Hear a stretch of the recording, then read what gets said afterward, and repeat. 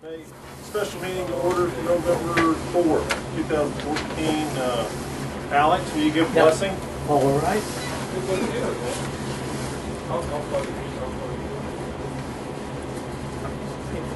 Our dear Heavenly Father, the Lord, we ask that this meeting, as it has been brought to order, may be under thy, thy guidance, thy care, and thy blessing, that those things which are necessary may be successfully achieved, and that they may be in accord and in all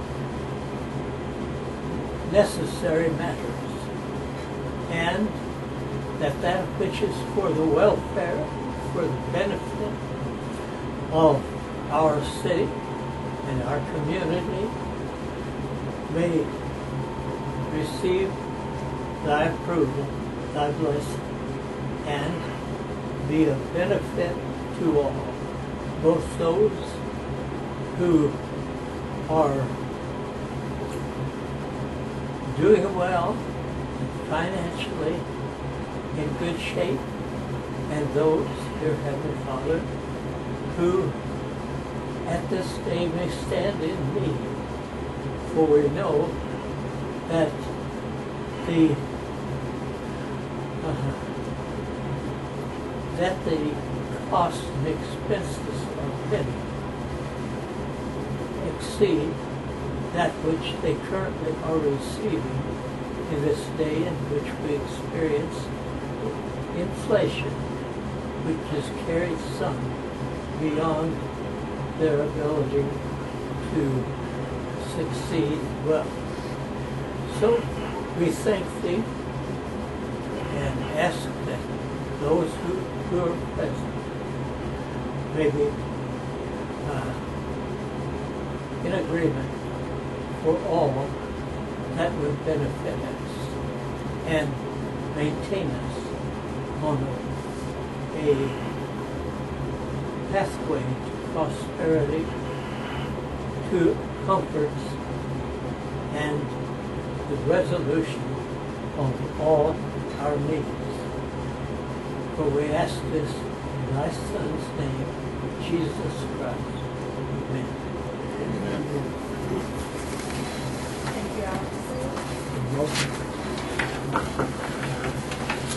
Uh, does anybody have any changes to the agenda? We cannot change since it's a s- a special meeting, we have to go by the agenda as it stands. Okay.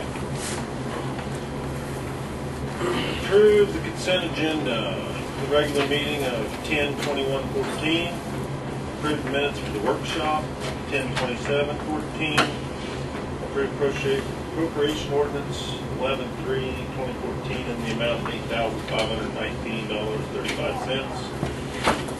Approve appropriation ordinance eleven four twenty fourteen in the amount of ninety-eight thousand, six hundred ninety-eight dollars, thirty-four cents. Approve the use of the skating rink for elementary PE, fifth through the ninth, twelfth through the fifteenth, from nine twenty-five to eleven twenty-five each day. Appropriation ordinance eleven three fourteen for solid waste. The rest of those as listed. Do I hear a motion? So moved. Do I hear a second? Second. Any further discussion? All those in favor say aye. Aye. I vote.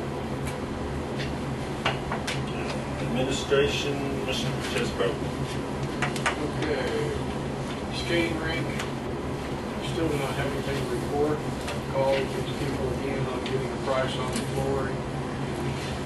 Uh, In fact, I made it a point to ask the one company that had said they were interested. It says, if you are not interested in it, please say so. So, oh yeah, we're gonna get you something right out. Got an email, fax number, nothing. So, uh, I did get, you know, and I guess the direction of, of which what we want to look at, you know, we looked at just coating the floor, if we're gonna do anything else, uh, we looked at redoing the carpet on the walls, you know, we tried to have it just clean, putting up a handrail, and, uh, style of carpet. The main reason for the carpet, one of them would be for, would be some echoing there, that's, you know, we want to keep up something probably on the walls and similar to that.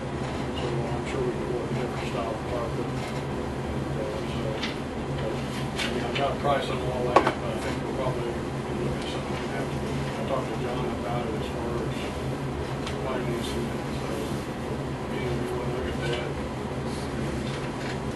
We're we're not, we're not getting any response. I mean, there's, I don't know why I specifically asked for that, man. Is that a uh, flooring company? No, it was, one of them was a contractor that did the work over the school, that's this right here. And then it was a company that, uh, does the skating rink. Uh, we buy supplies from, shoe, uh, shoelaces and all that other stuff from them, and they, do that kind of work where they have someone there. I've talked to them this three or four times. I don't know what to say, but.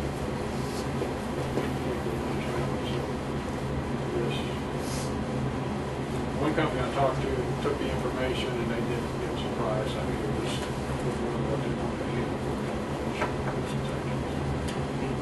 That's all I can say. Trying. See if we can get someone else to, another company. We're going to bid. Oh, Yeah. I don't know if he does that or not, honestly. I hadn't really thought about him as far as he he might, he might. As far as the rest of the work, I don't know if that's. But yeah, that's a good thought. I'll say it'd be nice give a try, it, though. Okay, we'll proceed along those lines. Like I say, this other work, I guess, if we want to proceed.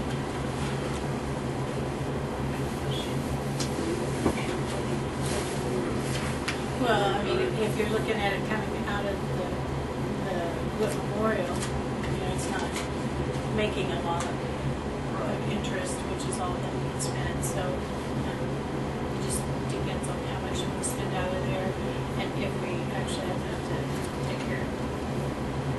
And hoping that there's anything else that might be.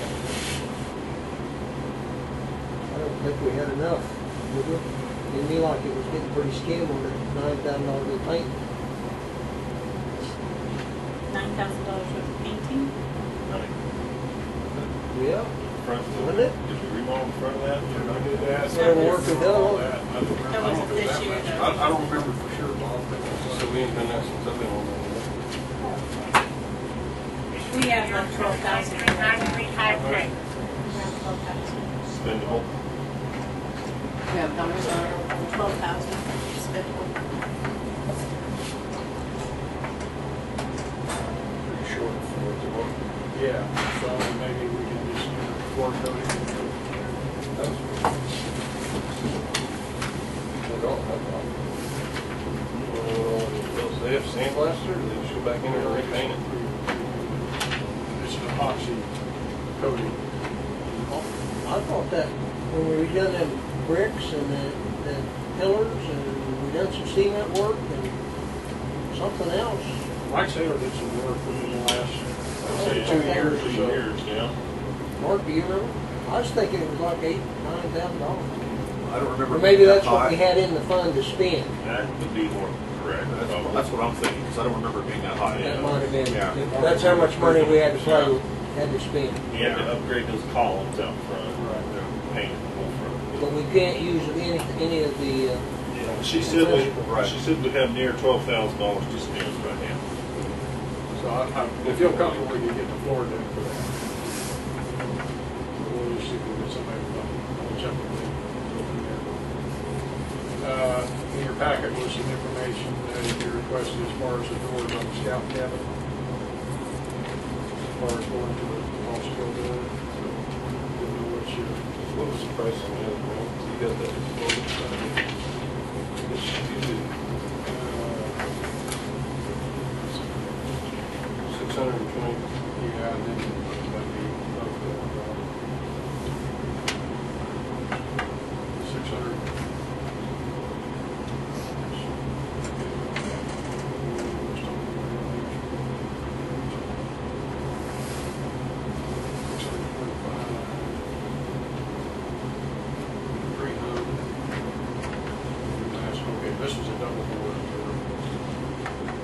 six hundred twenty-five eighty-three, the other was six eighty-one forty-seven.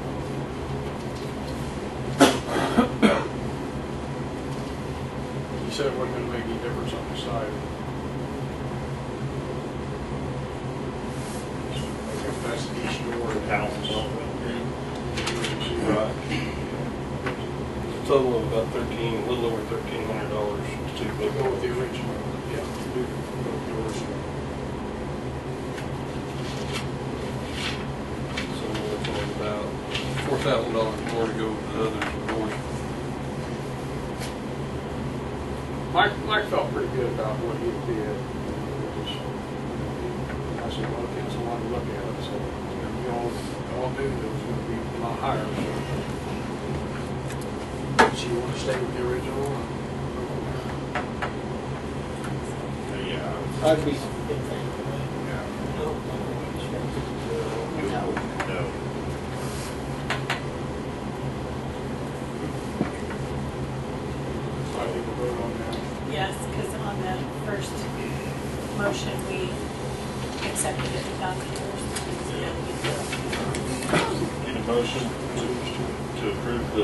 $625 over and $689 over.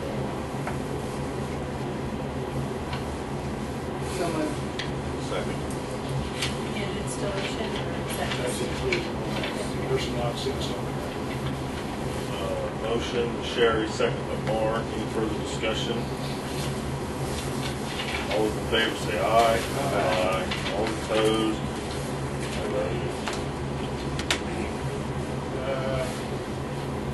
As far as in the report, uh, sort of seal is started, we've had a couple of, one day it was too cold and it actually rained, and so they were able to put some down today, so be a great day, so we're going to do this, you know, if it's not, they're real careful that the the weather's not right or temperature's not right, they're not, it. Uh, They uh, started on the bore for the Main Street water line, and, uh, all the way through, and they'll be ready to pull back, get some piping, so we'll see. That's all I have. how far are they going south? Started uh, down there at uh, south at Main Street, look for the runners, and go all the way up to the lumberyard intersection, so two blocks.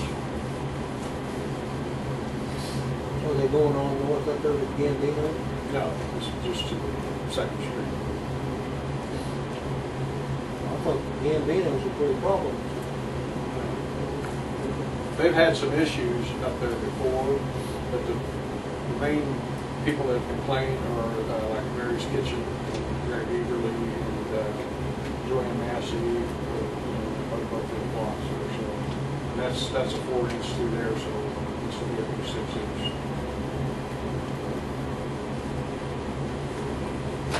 Any other questions for Mel? Thank you. Fire Department, Michael Sanders. I don't have anything.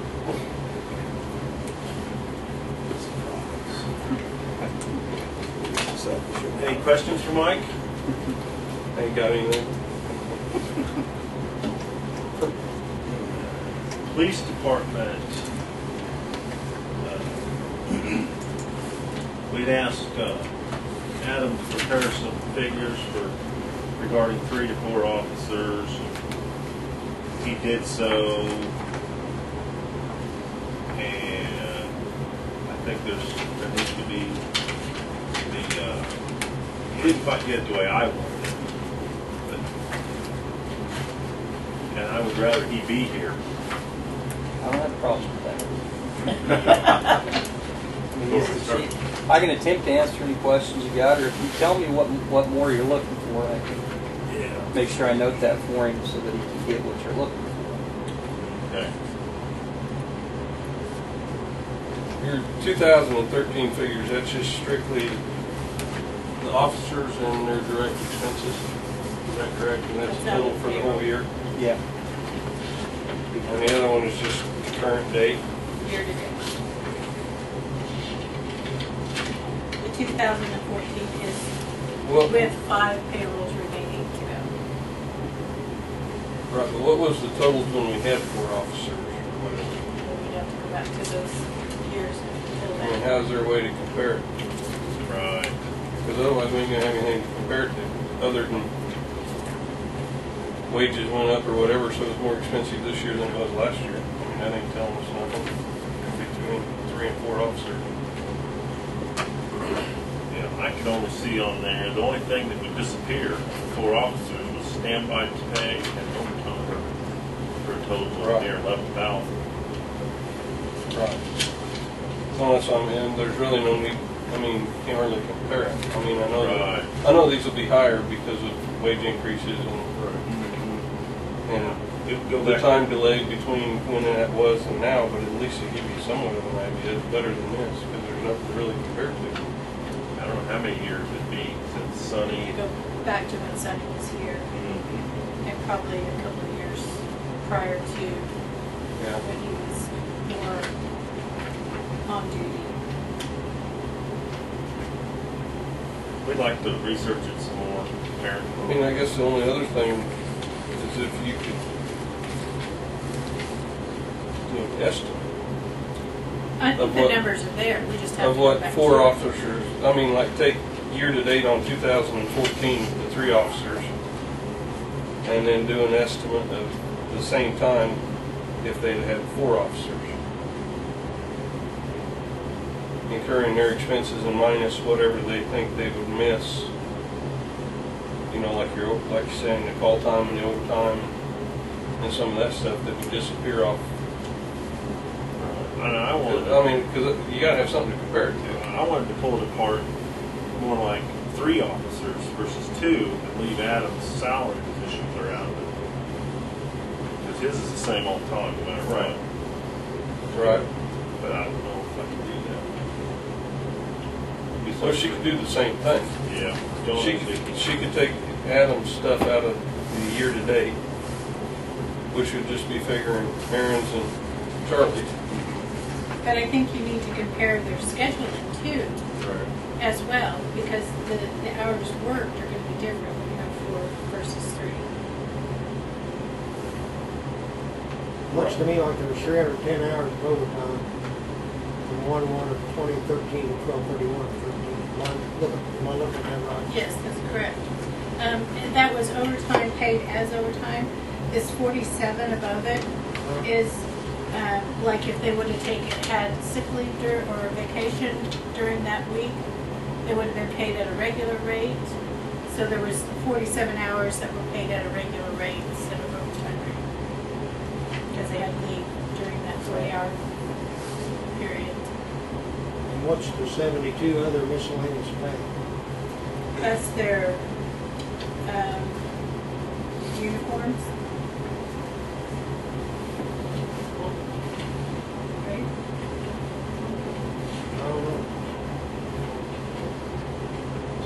Yeah, that would be their uniforms. Well, You can't figure the uniforms into this hourly wage, can you? Well, it's, no, you're gonna have uniforms. It's not figured into the hourly wage. It's up here. Right, it's a separate line item. Right. We need to throw that line item in though, at the, at the total. It isn't part of the cost. Yeah, we'll have another bulletproof vest, another camera or taser, uniform, badge.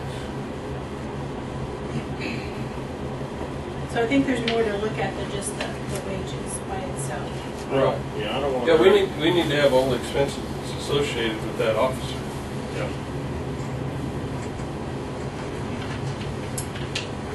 Think we need to hit a little more with Adam here. You can go over some of that topics we just said here. Relay the message. Well, I mean, just comparing last year to this year, we're not gaining nothing. Okay? I mean, we need No, I don't think that was a comparison. You, you asked what the wages were for,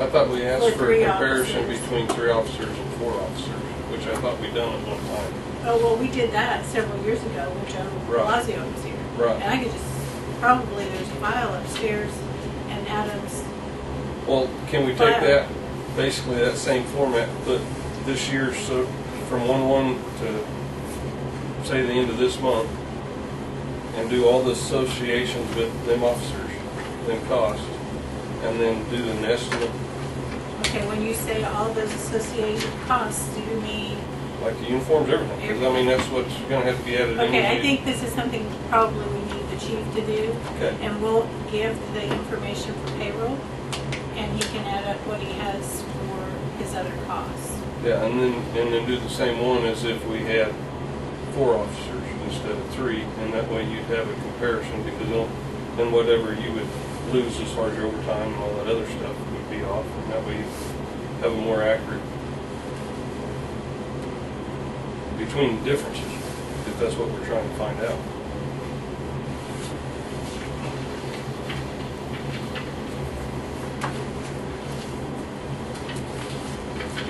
Okay. Any other comments on that for now? Just, we can just get that information. It'd be a lot, really helpful for us. And also too, um, with a lot of this really boiling down and coming to a head on this, um, for you and, uh, Officer Brown, prepared, are you preparing the- the inevitability of the loss of overtime? Yeah. I mean, that, that wouldn't bother me to go back to where we are. Okay. Actually, I mean, don't mind to give me an example of how, how it would be effective is, my wife had a, a death in her family. Adam's out of town, funeral's tomorrow, I have to work. So I can't even go support my wife, which I could if we had a fourth officer. I mean, that's, that's, you can't figure that by money, Right. you know? I mean, that's, it's just one of those things. Well, it's just saying, I just don't want any of this to create a hardship, you know, for any of our officers, and just to backfire on us, so to speak. Um, I just want this to be as painless as possible for, for y'all's pocketbook, is what I'm just trying to say. Yeah. So, we're- and we're uh, you have, you have my sympathies, so, Thank you. thank you. Okay, you just want us to approve this S and S tire in that police department? Yeah. If you approve it, I'll call Marshall and get them ordered. Uh,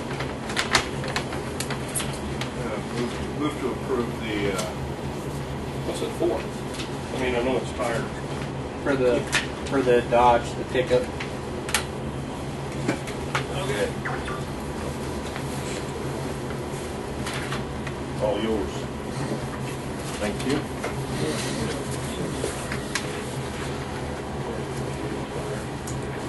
The total of the tires is up here on the sidewalk. It's Four not tires, in six here. thirty-five. Right here. oh, I'll make a motion to approve the purchase. I of think four Mark tires. already did, if you want to Okay, second. second. Are there any further questions, comments? All in favor? aye. Opposed? Motion carries by vote. I don't have anything else, Mayor. Okay, thank you. Welcome. John? Well, the only thing I have is, um, you guys asked for more information on the cabinetry and um, provided that in your packets. Had or whatever, but the construction. Our main concern was weight limit, wasn't it? Yeah. Did that? And part Well, of, she has a pretty good comment on the front. She Yeah. says, common sense, common, common sense dictates that you cannot expect to put an unlimited amount of weight on the shelves and ask us to guarantee that. We do feel confident that our cabinetry will support the weight of your notebooks and binders. She'll put on there that Mike, uh, Mike assures the cabinets will be anchored securely to the wall, so it doesn't meet our needs.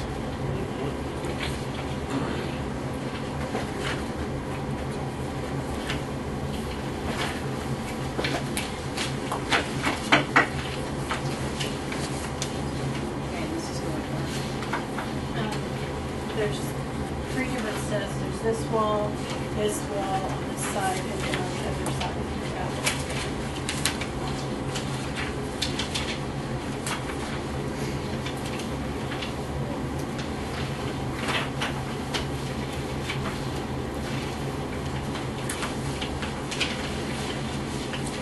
decide if we are, if we're gonna do it, if we wanna do it all at once, or if you guys want to take sections at a time. John, have you put any of this stuff upstairs? Do they have an all capture down here? I mean, do you use it all the time? Well, some of this stuff needs to go boxed right there, but yeah, we've gotta be able to, and even at that, there are times we go upstairs to get stuff. It's- I wish we could have it all in imaging, but I don't think we really are ready to go there. I don't have that sheet with the totals. Do you have that? With the dollar amounts on?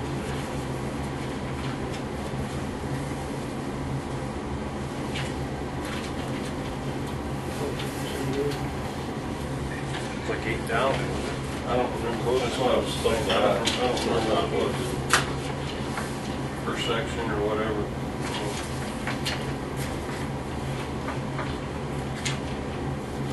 Maybe it would be, I guess, right there, unless it's just cost prohibitive, way had it four parts, just do it, and get it over with, and move on.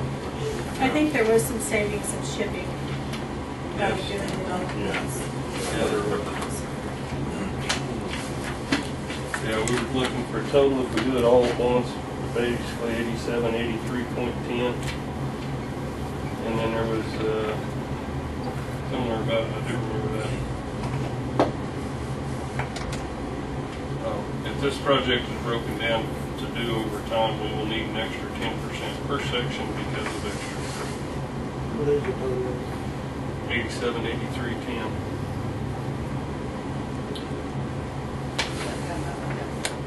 That's for all three sections, correct? All four. All four. Installed. Installed, Yes. And there has to be like sixty-eight hundred due upon arrival of cabinets and the rest of it's gonna be done, do it. Um. I just, I make a motion to go ahead and do all four sections as stated. Second. Any further discussion? Additional comments? All in favor? Aye. Opposed? Motion carries five oh. Thank you. As far as, uh, report, uh, we got our Blue Cross Blue Shield numbers yesterday, because we're in a special meeting, we couldn't add it, so we'll be looking at that perhaps next week sometime. Um, also, I'm be going to Clerks Academy, um, the rest of the week, so, um, hopefully I learn lots of good stuff for you. Typical. Jeff? Oh, I think I- I'd like to have ten minutes with the mayor and the council for non-elected personnel first. There's a motion for. Non-elected personnel. subject? Non-elected Non-elected personnel. we've got the. It's wa, it's wages for an employee. Okay, that's the subject. Need a motion for a ten-minute executive session for non-elected personnel. So moved. Second. All in favor? Opposed? Motion carries five oh. So you got a package today. Okay. First polls. The only other thing I have is I'm trying to buy a half a load of poles. Uh, We really don't like to buy over twenty or twenty-five at a time because sometimes we don't get them in air fast enough. And the way it is, I've got, I've got five left on the rack, class four forties, which is what we use the most of. Two of them are shell rotted completely. They're completely junk. They've been there too long. One of them's really crooked, and I've got a chance to split a load with somebody else. I'm not sure who the other city is, but we split the freight and that stuff that way, and the cost for a half a load. I think there's 23 poles in there. Was what was it? 78, 36, and some change or something like that. It's about 340 dollars a pole. That way we share the freight and and that stuff, and they they usually come within two weeks. I've got about um, 12 or 13 thousand dollars in my pole transformer and cross arm budget. I think for the rest of the year, so there's enough money in there to cover it. So I need a motion to approve purchase. So moved. Second. Do we have a, a, a, a number? Seventy-eight thirty-six. Seventy-eight thirty-six and some change. I didn't bring my sheet, but I, I thought the council had a sheet. Seventy-nine hundred, Yeah. not to exceed. Okay. That's a guaranteed price, so long as they get the other, if they don't get the other half sold, the other half a load sold, we won't take them. Because I won't, I won't buy just a half a load because the freight's just twice as much, you know, so we split it or won't take it at all. So, Okay, so the motion would be to purchase the poles at a cost not to exceed seventy-nine hundred, provided we can get a full load put together.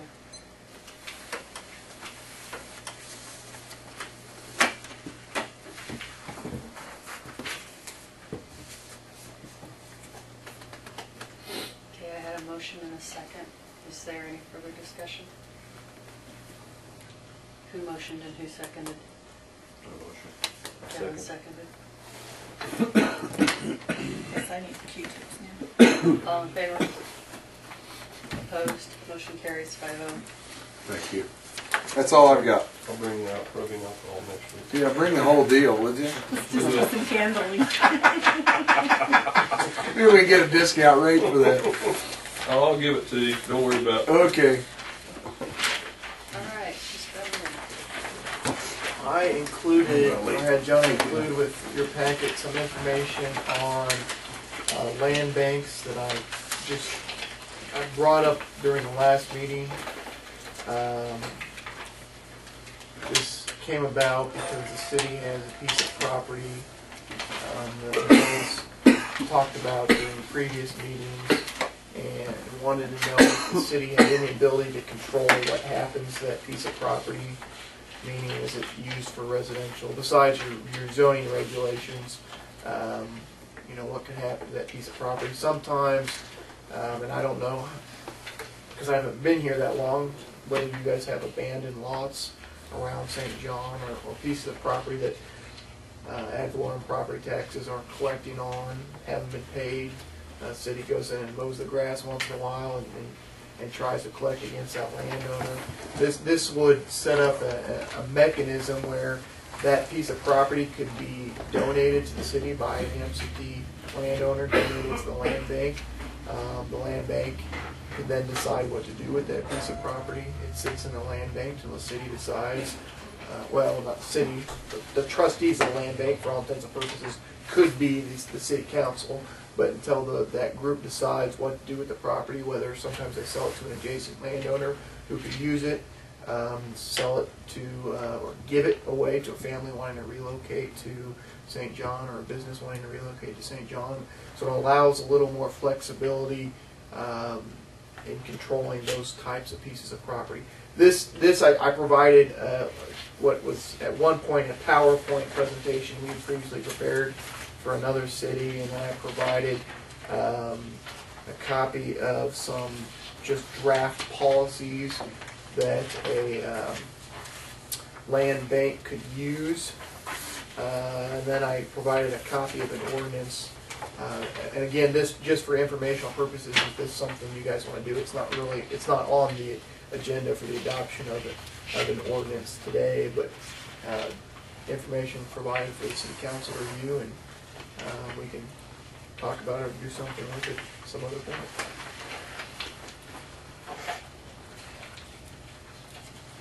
While that property is in the hands of the, of the land bank, does it have, it'll have to pay all the taxes and all that other, or not? Nope, uh, by state law, no. There's the- tax No, data.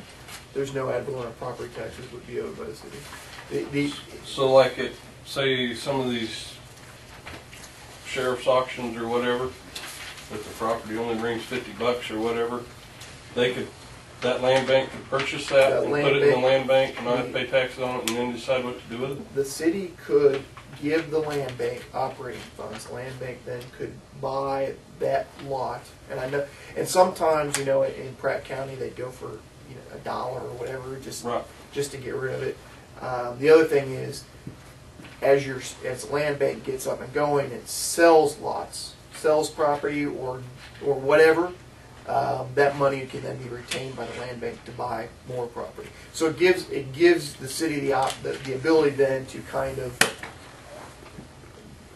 kind of, as almost another zoning type regulation to decide, okay, we want to use this lot because it fits better with this neighborhood as a residential house. Um, to incentivize somebody that wants to move to town, we will give it to somebody who relocates to St. John.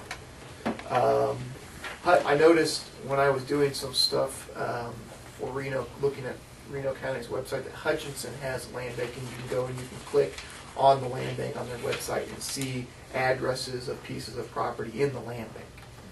Um, Greensburg did it because they had a number of people move out after the tornado and who were just wanting to turn over their lots to uh, the city of Greensburg, so they started a land bank. Were we to do something like this, it would lend itself very nicely to um, working cooperatively with the Economic Development Board in them securing grants to build duplexes, multifamily housing, that type of thing. It would give us the ability to let them build on the land and then sell it and do whatever. And, and you could, one of the things is you could do, you know, sell it for so much money, and if they stay there for a number of years, refund or rebate that money.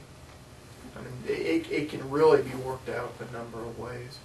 Um, a lot of times in these situations, there are adjacent properties, you have a house that burns down and land just gets abandoned, and then the city's left cutting the grass or whatever, putting tires up and that kind of thing.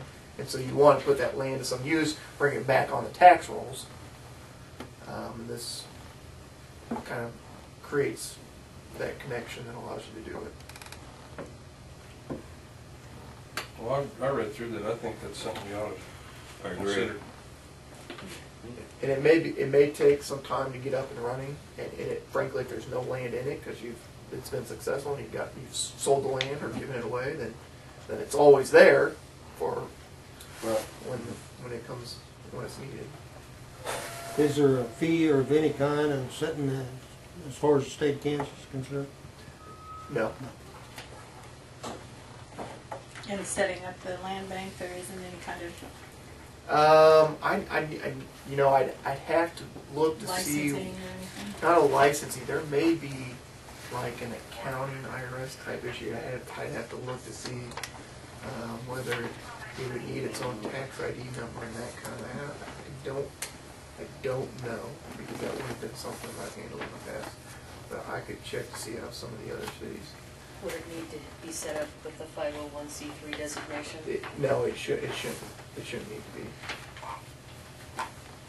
No, it is a creature of statute.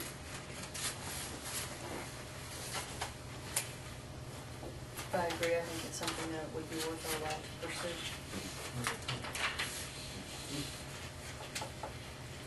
Like I said, we could have that nice brand new duplex sitting somewhere here in town instead of in Macksville. I think that's the reason they went that direction, is because they had a lot accessible where we didn't. So, If somebody wanted to give a piece of property to the land bank, could that be used as a taxable write-off?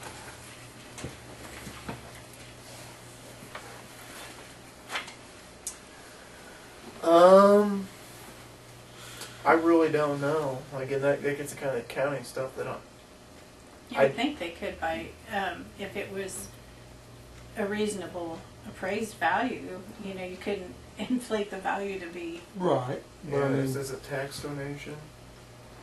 I mean, I don't see why not, but, um, I think as long as the city was willing to issue a letter back to the donated individual stating that, you know, this is the appraised value of the property and the city acknowledges the receipt of this gift to the land bank or whatever, I think you would be able to use that for tax purposes and write it off. yeah, and I'll, I'll be honest, how this happens a lot of times is the, the city will cut the grass over entire summer and, and, and typically the city passes along those expenses to cutting the grass and maintaining the land. And that person no longer lives here, they inherited it, or they moved out a long time ago. And so, um, the city starts to write letters saying you owe us six hundred or some dollars, we're gonna try to collect. One of the options available to that person is just quit claim the land to the land bank and we will forgive that money. I think it's sure something to look at. And we can talk to the accountants about whether all that can be taxed on.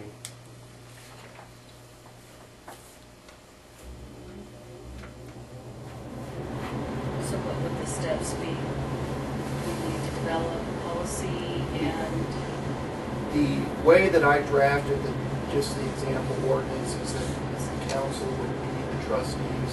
And so the first step would be to adopt the ordinance. And then as, and this can be, it's, it, you're still subject to the same open meetings, open records, rules as a governing body.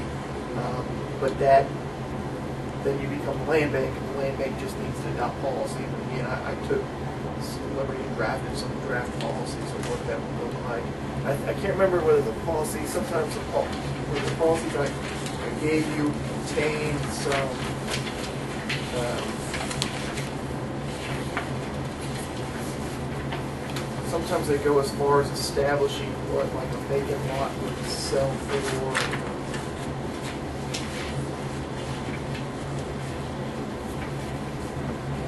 Yeah, you do the land bank procedures, is that where you're looking at? land bank policy.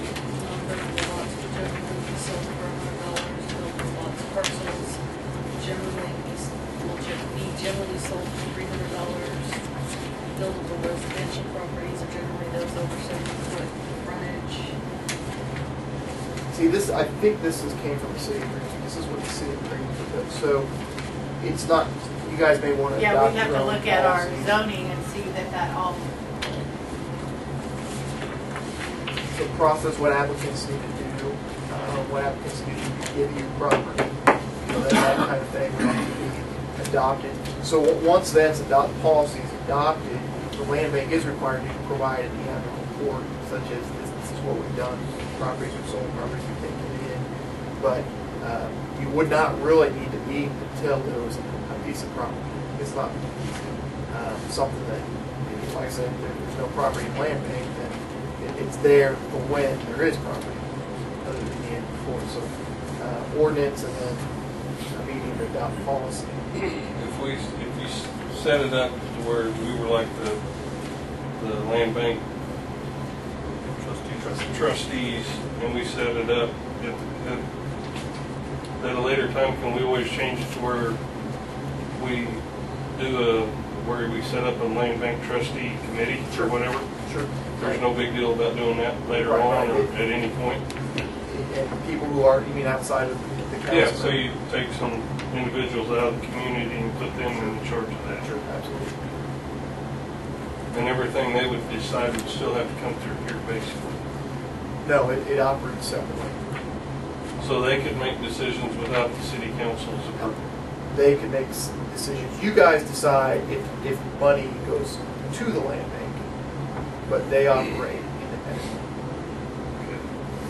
And sometimes whether, and I don't know if, if in bigger cities, whether it's then members of the business community, members of economic development, you know, you kind of pick and choose. Um, I put the council there just because, you know, sometimes in a small community, it's always the same people involved in the same thing. Or would there be a some bylaws and so forth that would go with that? Um, I don't know whether you guys need to adopt bylaws or whether the policy is sufficient. I don't think you need separate set of bylaws.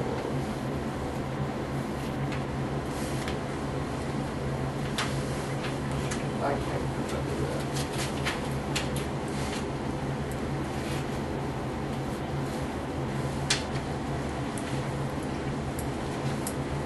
So the first step would be to do the ordinance. And then we'd have to do the publication on that, would it be published once or twice? Because I don't remember what the statute is. I'd have to look this up. You know, to answer your question, there could even be separate committees appointed by the land bank for land that's zoned commercial, and land that's zoned residential. Yeah, experience. Mean, that, that, you're getting to the point where you're broadening out what, Right, what yeah. the use of the land bank is, but if, if ever necessary.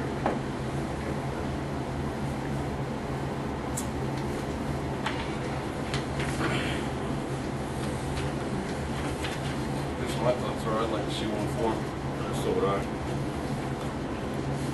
Okay, then do we want to have John put the ordinance on the agenda for whatever the next meeting is? We can it with the health insurance meeting if we have that before the next regular council meeting. My, my consensus. What's your consensus? Yeah, I think we're looking.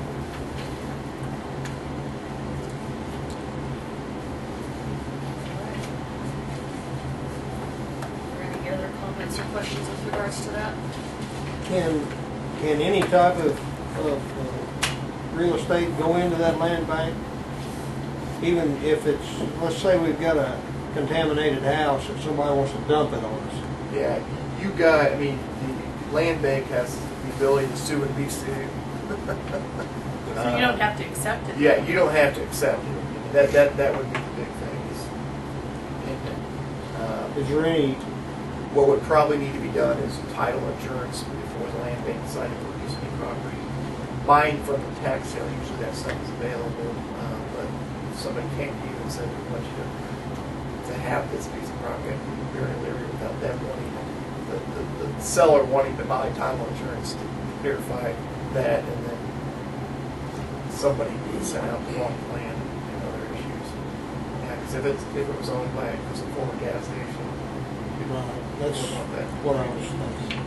But I mean, that's something we put into the bylaws or whatever too, right? That, that we require, uh, title insurance or whatever, That you may be, I think the title insurance requirement is in the policy. So, I mean, I mean, we can protect ourselves through some of that to begin with right off. Right. Okay.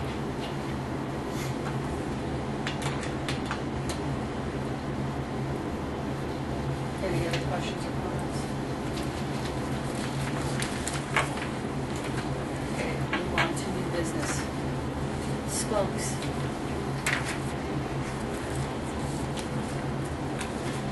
I'm looking at you, Mel. Bob's the one that brought it up. Well, any of the knowledge I have, that uh, Adam bought some more traps, Sherry bought a trap, uh, but he's caught, I don't know, caught two since the last meeting. What I was, where I was headed, I talked to the guy that delivers the newspaper, and he has seen a tremendous amount of stunts at four o'clock in the morning. What's the chances of allowing them to shoot them stunts? They're out, they're about, they see him. Oh, you mean have the paper ban? yeah, let him, when he sees them, shoot them, as long as they're safe, he can do it safely. Yeah.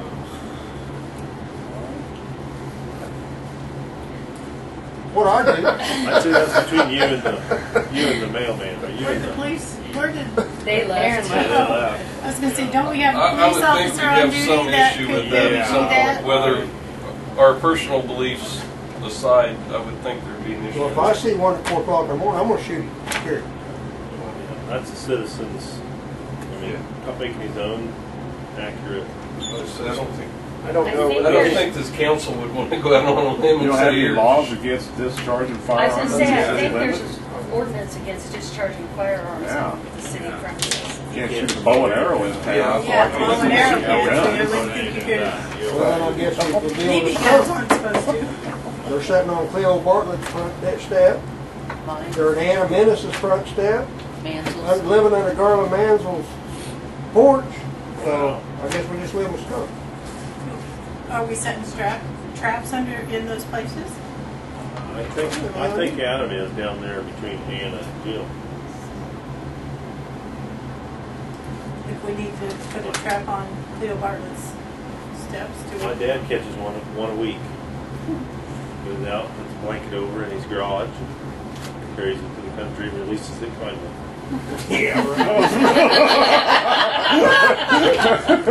My dog shred him and then leave him laying next to my truck for a week. I mean, I'm not opposed to doing other, other deals, but I just, I don't think we can promote it. But he, Julianne was gone, but I think Adam said he had two more traps ordered Yeah, I know he ordered. two weeks ago, so he ought to be all over. Are you catching a lot of them out down there by Anna Menace's? Edna Brody's? The police have set some traps out, and I know that one skunk has been eliminated down there, we know that. Uh, I do, I do know that they would have set some more traps out, so.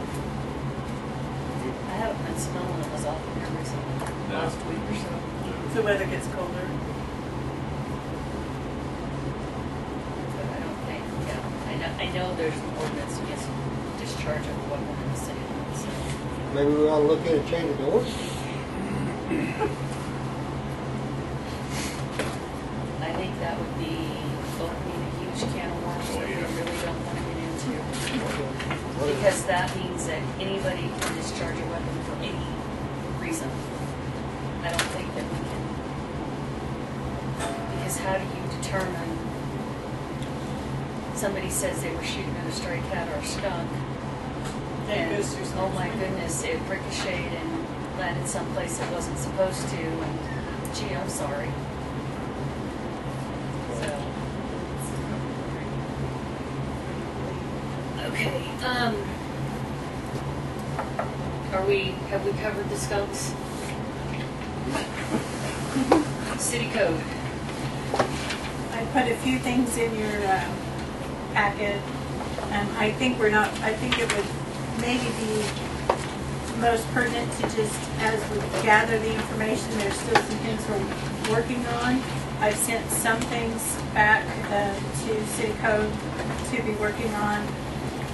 They've updated the draft online. Uh, There's a few things we're still waiting on. But I think maybe we just need to wait till we have them all ready.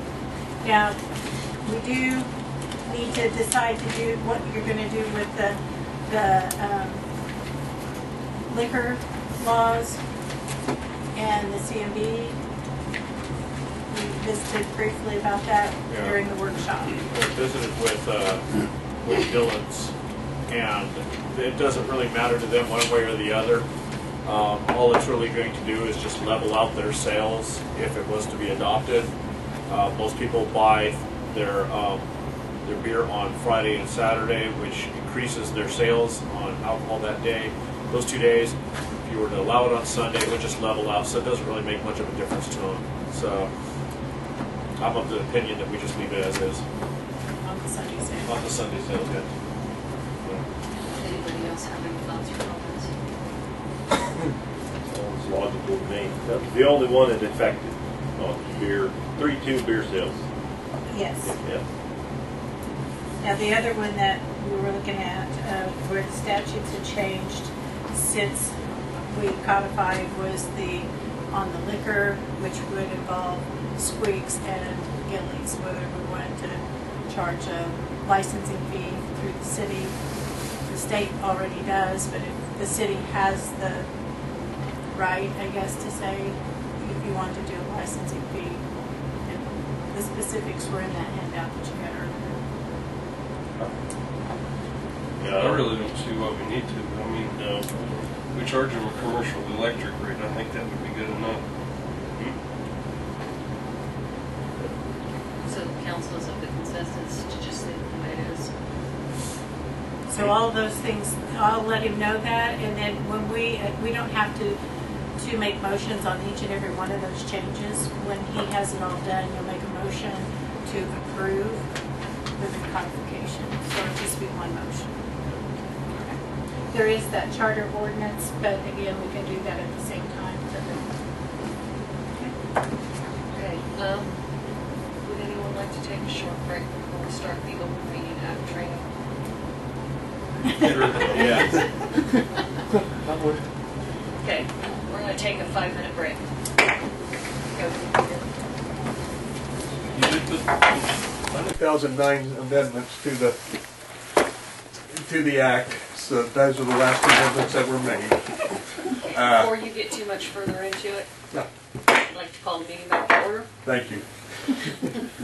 And for those of you who haven't had to suffer with me before, uh, I'm Larry Baer. I'm one of the legal staff at the at the league, going on my 14th year there. Uh, came from uh, 20, nearly 25 years of private practice in, in Harvey County before I went to, to Topeka. I spent about 15 years of that as a city attorney for City of Halstead and also representing some other quasi municipal boards. So, been a few things. I, Nicole and I have been doing the open meetings, open records presentations for the last few years, the last couple years.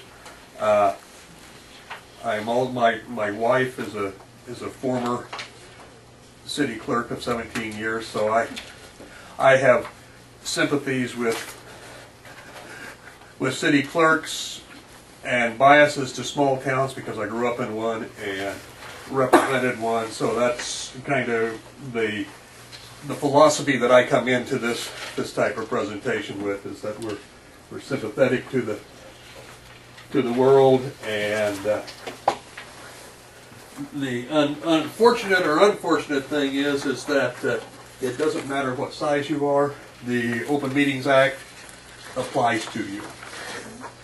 And uh, i know you're going to love this. We're going to start tonight off with a test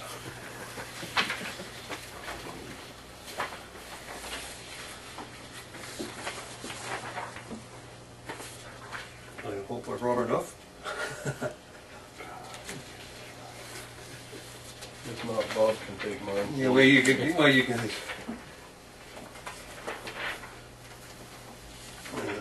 Results are going in the Head them around the table there and take about three or four minutes to, for each of you to run through there and circle true or false and, uh,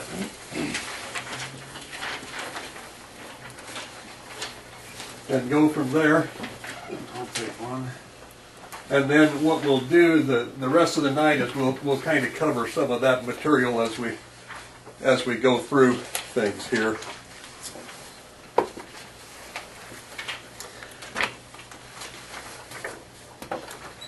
To those of you who have heard me speak before, I'm sorry. Uh, to the rest of you, well, some of the stuff I talk about won't, won't be old ground. So.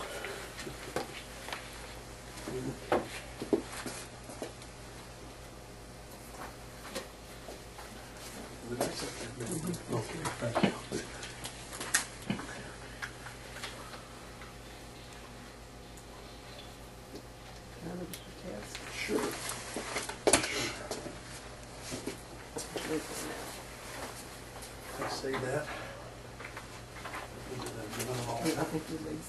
That in this chair. Okay. Like the cheat sheet, cheat sheet in there.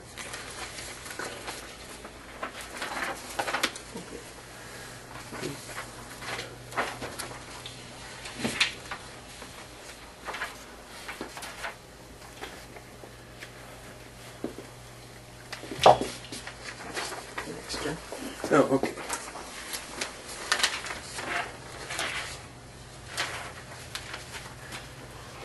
Okay, everybody got it, got it aced by now?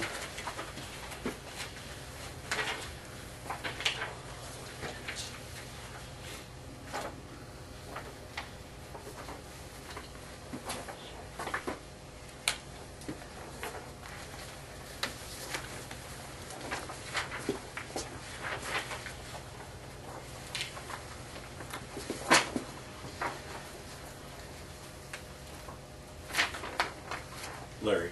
Yes. This one only had one side. I see Oh. the other members have two sides. And I'm, okay, well, it's not meant to be easy, that easy. We've- We've already established the honesty in this group. We need another one over here. Yeah, mine started at eight. Yours started at eight. Oh, You got it. You got the other side. Yeah, somebody's got the original, yeah. Somebody has, a- if you've got, somebody's got, if it starts at one and ends on, and, and ends on 7 and somebody else has 8 and starts goes through 15, you've got the original, but that's okay. There's, there's the full the full thing. I didn't I didn't give you the cheat sheet, so you So we, we only tested half of your honesty level.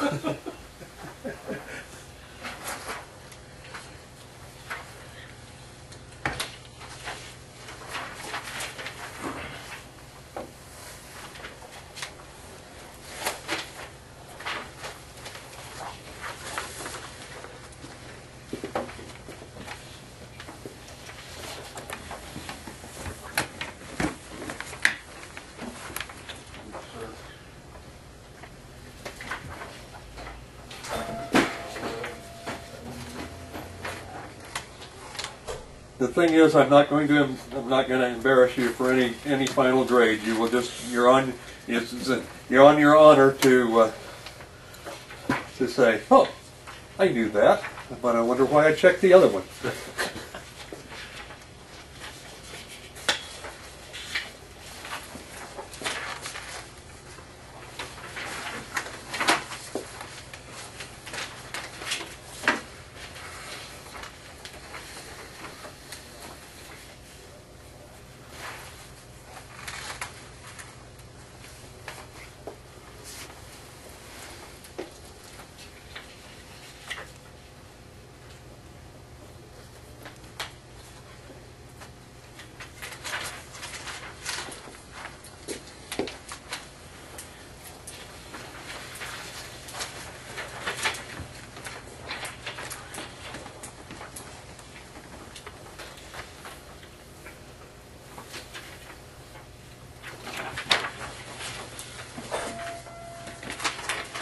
Okay, I give you about another 30 seconds to wrap up there, since we're not going to really keep score and embarrass anyone. And I'm going to, if you guys on this side of the table want to spin around, I'm just going to kind of use this chair as a podium here because it's easier for me to keep my brains together and all. And uh, like I say, I'm not really going to follow the book. The book is there for your your reference and use later on. Everything that I talk about comes out of that book. Also, just for your quick reference, there's a section in the clerk's manual that Jonna should have about uh, open meetings. There's also a section in the governing body handbook that each of you should have if you or if you've attended the governing body institute and the city gets two sent to it every every other year. New ones come in, we, we revise it every odd year to coincide with elections. So we're we're just ready to do a revision for this upcoming election year. So those are some some quick quick places to find find references in addition to the book. Okay, Kansas Open Meetings Act applies whenever the there is a covered entity and whenever there is a meeting. Both of those terms are defined within the Act. Basically, a covered entity is uh, any legislative or administrative body or agency of the state or a political subdivision that, uh, that and and that includes boards, commissions, councils, uh, committees, subcommittees, and any other subordinate groups that the that the covered body forms. So the city council is covered. Any committee or group that is formed by the governing body, whether or not there's a governing body member on it, is also covered by the Open Meetings Act. So in other words, your library board, if you appoint the members of your library board, they're subject to the Open Meetings Act. If you have a city cemetery and it has a separate board, it's subject to that act.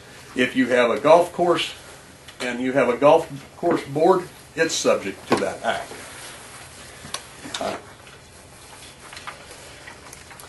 Now, the thing is, is that, okay, what is a meeting? Well, statutorily, meeting is defined, and this is, there's three legs, basically three legs to the stool. It's uh, a gathering or assembly, and this is this is this is words from from the from the statute.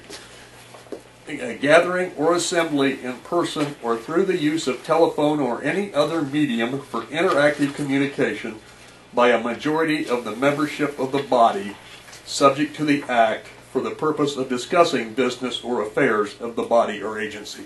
So in other words, you have to have, there three prongs, three things that trigger when a meeting is. You've got a gathering of a majority of the body with interactive communication discussing business of the body and we'll get into the definitions of those of those three three concepts as we go here uh, the majority so the basic elements are membership of a, a majority of the membership of the body so when we talk about the body we're talking about your councils so you have five members. So a majority of that is three. Up until eh, three or four years ago, we talked about a majority of the quorum, which would have been two. And we got that massaged to be a majority of the body. And, and we'll talk about why that's, that's critical here in a moment with the interactive communication and the discussion of the business of the body. Uh, when we count uh, for the majority of the body, we count for the the number possible. So if you've got a five-member council, five is a number that we always start with, notwithstanding the fact that you might have a vacancy, or you may have someone absent, you may have two vacancies, it's still a majority of the body elect. So we're talking about five is the number that we start from, and three is the critical mass number. Now, this talks about irregular voting members. Of course, the mayor and a mayor council form of government has a right to vote in certain circumstances, but they're not deemed to be a regular voting member, so we look only at elected council members or appointed council members. Interactive communication. This is when you're in physical presence of one another or electronic presence of one another. So it can occur at a regular council meeting, can occur at a special meeting, can occur at a work s- session, staff briefings, telephone calls, video conferencing. It can occur just out here on Main Street, It can occur at the coffee shop, you know. So that's, you know, its, its presence in some way. And also would include online communication when there's a- some kind of opportunity for contemporaneous exchange. I used to use the example, so you got the idea of how long I've been doing this, is that, uh, you know, there's no question if you're, if, if council members are talking on the phone, you've got interactive communication. If you're talking in person, you have interactive communication. Okay, back in the dark ages when we all thought that fax machines were the greatest thing cooking, you know, there's a question as to whether or not exchanging things via fax was inter- interactive communication. My theory on it was the same as it is on snail mail. You put a, you put a letter in the mail, goes from one council member to another, you know, depending upon how graced we are, it may be one day, it may be three days getting up and down Main Street uh, on things. For the most part, that probably wasn't interactive communication. Fax was probably not interactive communication unless the two the two recipients that were involved were standing at their respective fax machines scribbling something on the bottom of each fax as it came through and shooting it back and forth just as fast as as Ma Bell would, would handle the situation. Uh, so, you know, you've got to look at the circumstance of, of the situation. Of course, chance meetings can, can lead to interactive communication, and telephone calls, whether a conference call or whether individual, still, still counts. Online communications, yes, as long as there's some contemporaneous, you know, interaction. So, if I email you and you see it this evening and respond back to me, it's probably going to be treated much as if the old snail mail situation. But if we're sitting here bantering back and forth just as quickly as we can, and this is not as critical now when there's just, when we have to have three, a majority of the body is when we used to have a majority of the quorum. We're sitting here emailing back and forth about the city as quickly as our pudgy little fingers will type, uh, that's probably interactive communication. Particularly if you, if you pick up a third along the line. There's no question that video conferencing, uh, instant messaging, if you've got more than two tied in, would be considered uh, interactive communication. So what about the business of the body? Well, I think that's fairly self-explanatory. Uh, when we shift when we shift from talking about fishing, football, and foolishness to the culvert at 12th and Main, we've moved to the realm of business of the body. Uh, it may not, it may even be a little more subtle than that. But you don't, business of the body doesn't require binding action. You know, three of you can be sitting around the table at the coffee shop and, and something come up and it can be discussing business of the body. Uh, so just, just the mere discussion of business by a majority of the body would constitute a violation of the Open Meetings Act. Now, I know, I, I should have asked in the beginning, I don't re- recall what your faux pas was that, that prompted this get-together. What, what was, what, uh, what transpired that, uh, so that we can cover that in specifics as we go along? Well, the, the issue actually was determined by independent counsel to be a non-issue. But basically, it was the public perception that there were backroom dealings going on with Okay. regards to a property that the city condemned Okay, that was subsequently purchased by a council member. okay. Well, then we don't have any specific indiscretions that Executive session. Yeah, executive session, yeah, we, but no, no, but there's, in that regard, we don't, okay, I, I just wanted to be sure that if we had a specific s- indiscretion or two, that we, we talked about that. Now, the, the thing to remember is that, you know, three of you or all five of you could be sitting around the same coffee table talking about, you know, football, fishing, and other foolishness, as I usually say, and there's not a thing going on. But the public, they walk through the coffee shop or co-op or wherever you may be visiting, there's going to be there's going to be some you know some question and there's some appearance, potential appearance of impropriety there. Uh, you know, can't tell you not to talk fishing, football, and foolishness, but you know sometimes it's it, you know you may want to um, you know temper when and where and how those things are done. You know, uh, folks can are always going to be drawing conclusions and passing judgment about your activities, so you can't you know you, can't be having to keep one ear to to the sidewalk to see what's going on all the time. Okay. The uh, another another issue that comes about is serial meetings. Up until a, a few years ago, there wasn't these weren't covered by statute. There was an old AG's opinion that talked about the concept of serial meetings, and it really stemmed from a calling tree arrangement.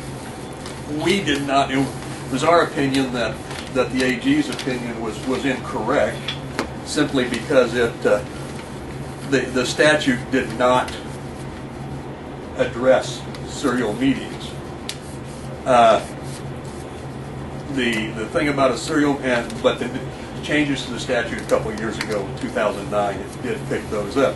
So when a serial meeting occurs with a series of interactive communications conducted by less than a majority of the body, and usually this is this is done on a one-on-one basis, where collectively they involve a majority of the membership of the body.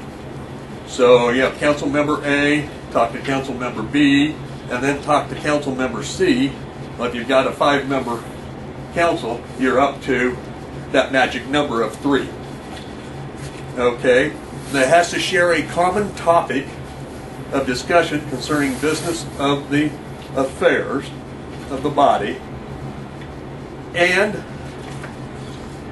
it has to be intended by any one or all of the participants to reach an agreement on a matter that would require binding action of the body. So A talks to B and says, I'm going to propose this, that, or the other. Uh, and they talk about it, and, and B says, sounds okay, yeah, I can go along with that. And then A talks to C with the same exchange, and but C has no no knowledge of, of A and B's thing. It's immaterial because A is the one that's wanting things to come to a binding position. You've got a serial meeting. So the moral uh, story is is that you want to you know you can talk about issues.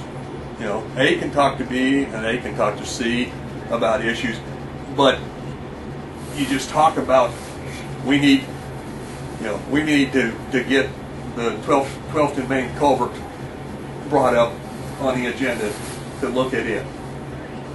You know, there's nothing there about that. But if A says, you know, I want that replaced, and I know you'll support it because I will support what you want over here on Second Street, you know, then you're beginning to cross that thin ice line.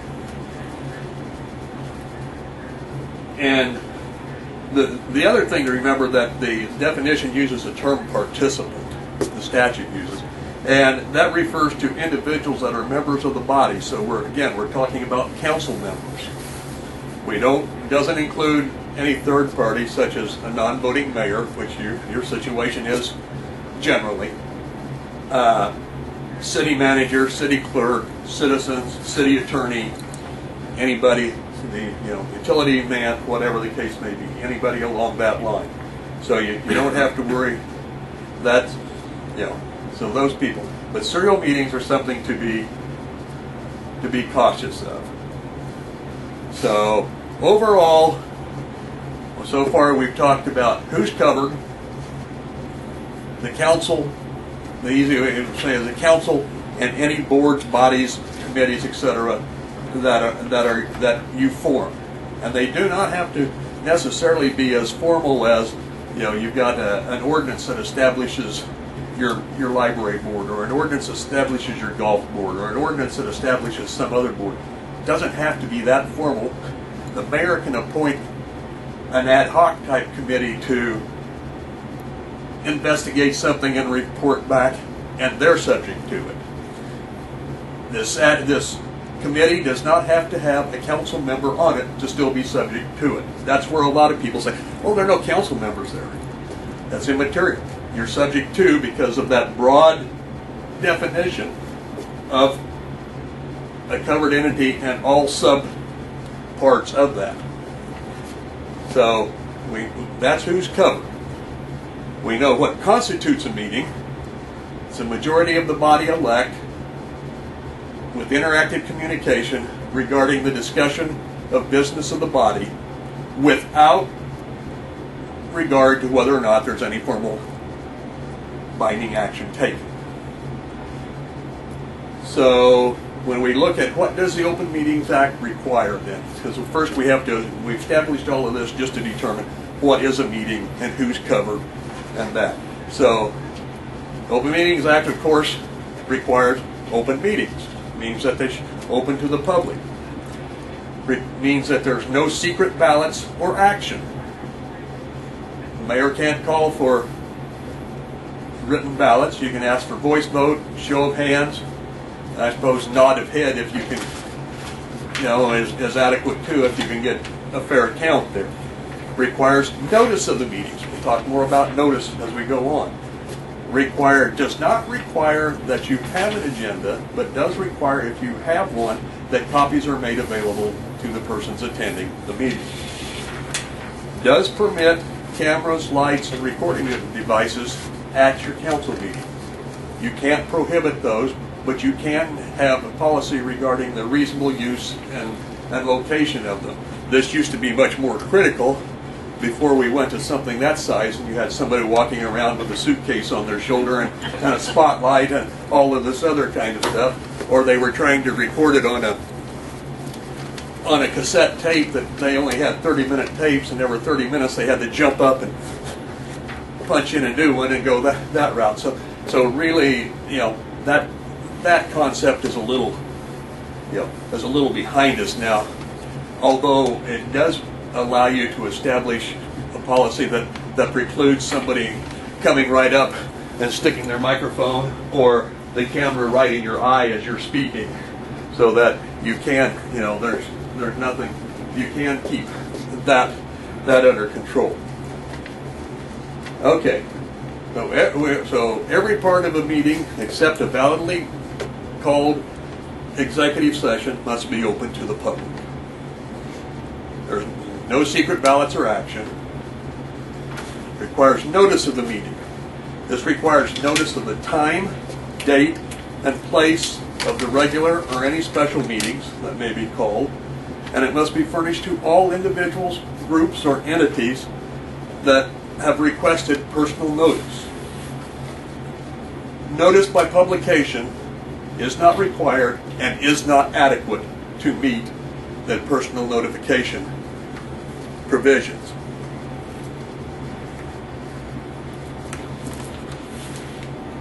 You know, public.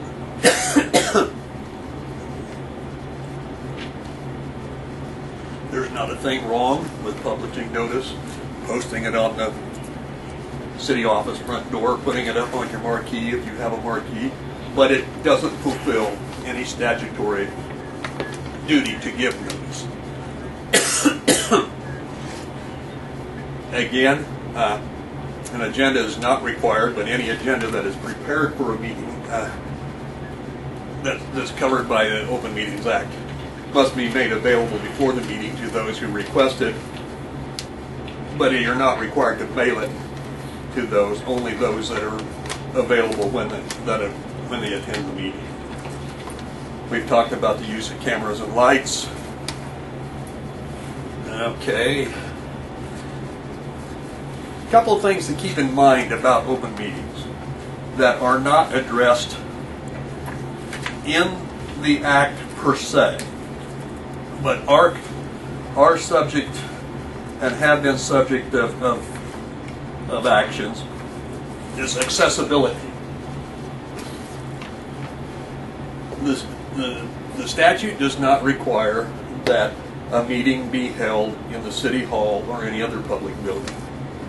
When I was city attorney, we had a zoning matter that I knew, that we knew were going, going to be particularly contentious. Our council chamber was probably about the twice the size of this room, and we knew that would not be adequate. The, the hospital had a small auditorium, and we moved the meeting to the auditorium to accommodate the folks that would be there. You're not, you know, that's, I'm just saying is that that's not a requirement, but it, it may be something to take into consideration because if for some reason you were having something that you knew you would have 35 or 40 people here and it would be impractical for them all to gather in this room and be able to hear, you may, you may have to relocate. Uh, it just, you know, other thing to take in mind is that it, you must, the facility must be accessible to the public. Uh, so ADA issues are applicable there. Uh, an example, and, and this was this was a classic example of bad timing. City of Manhattan, and this is oh probably 10 or 15 years ago. It's been quite a while back. Was was being, know, this was a precursor to them being sued for ADA violations for failure to to get curb cuts and things made in a timely fashion. And they had a meeting, a city, a council meeting regularly scheduled during this time, and they had a number of wheelchair folks that always attended their meetings. Well, for some reason, and I don't, I don't know the exact particulars, but there was a, I think there was an air conditioner glitch that they couldn't hold it in their regular meeting room, and they held it in a, in a another conference room, and and that was fine and dandy. Except lo and behold, unknown to them, they had taken the elevator out of service that afternoon. Classic examples of bad timing on all the way around. Not only did they get were, they getting slammed on ADA issues in federal district court, they they were cited for an open meetings violation because they failed to conduct a meeting in a room that was accessible to anyone that wanted to attend. Uh, you know, throw that out. for know, not all of you know, you not everybody can have that kind of luck all at one time. Uh, the there are two attorney general's opinions on, on the subject, uh, and and these relate to council retreats. And one was several years ago. Uh, it involved a city doing a retreat in Colorado Springs, I think.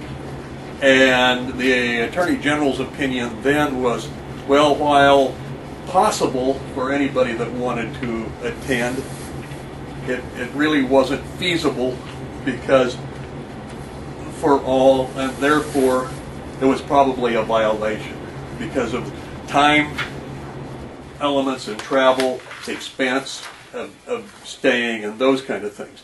Now, compare that to a recent uh, AG's opinion that uh, is almost on point for factual situation, and the AG's opinion is was as well with proper electronic connections, anyone could attend, and it's probably okay. So this one was this first one was in the late 80s, I believe. The second one was in the last two or three years. So with the advent of FaceTime or Skype or or some kind of live streaming, you know, it's probably satisfactory because people who couldn't physically be present could still attend and hear what was what was transpiring. So, so I say this is an evolving evolving package here when we talk about accessibility. Uh, other thing to uh, to keep in mind is that uh, the room shouldn't, you know, however you do it, shouldn't be an inconvenient location or in a room that's so small as to make it inaccessible for for the public. In other words, you know, while the six, well, the council and mayor could probably meet in a large-sized broom closet, that would not suffice to to covering the Open Meetings Act and the accessibility issues. So, you know, when we when we talk about notice and ability to to attend, we we talk about a whole gamut of things. Uh, we talked about we've already talked about use of recording devices, and you may not prohibit them, but you can adopt reasonable rules to regulate that. Now we're going to move to the the notice concept.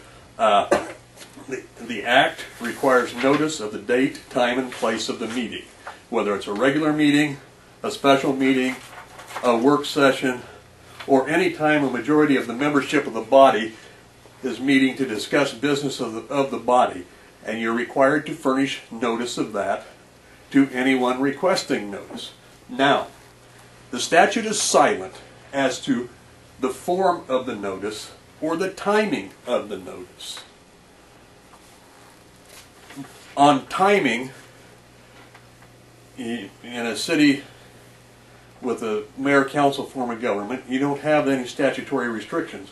We do have a statutory provision in cities of the second class with the commission form of government. They must give at least two hours notice of a special meeting or, or a meeting. But that doesn't impact you all.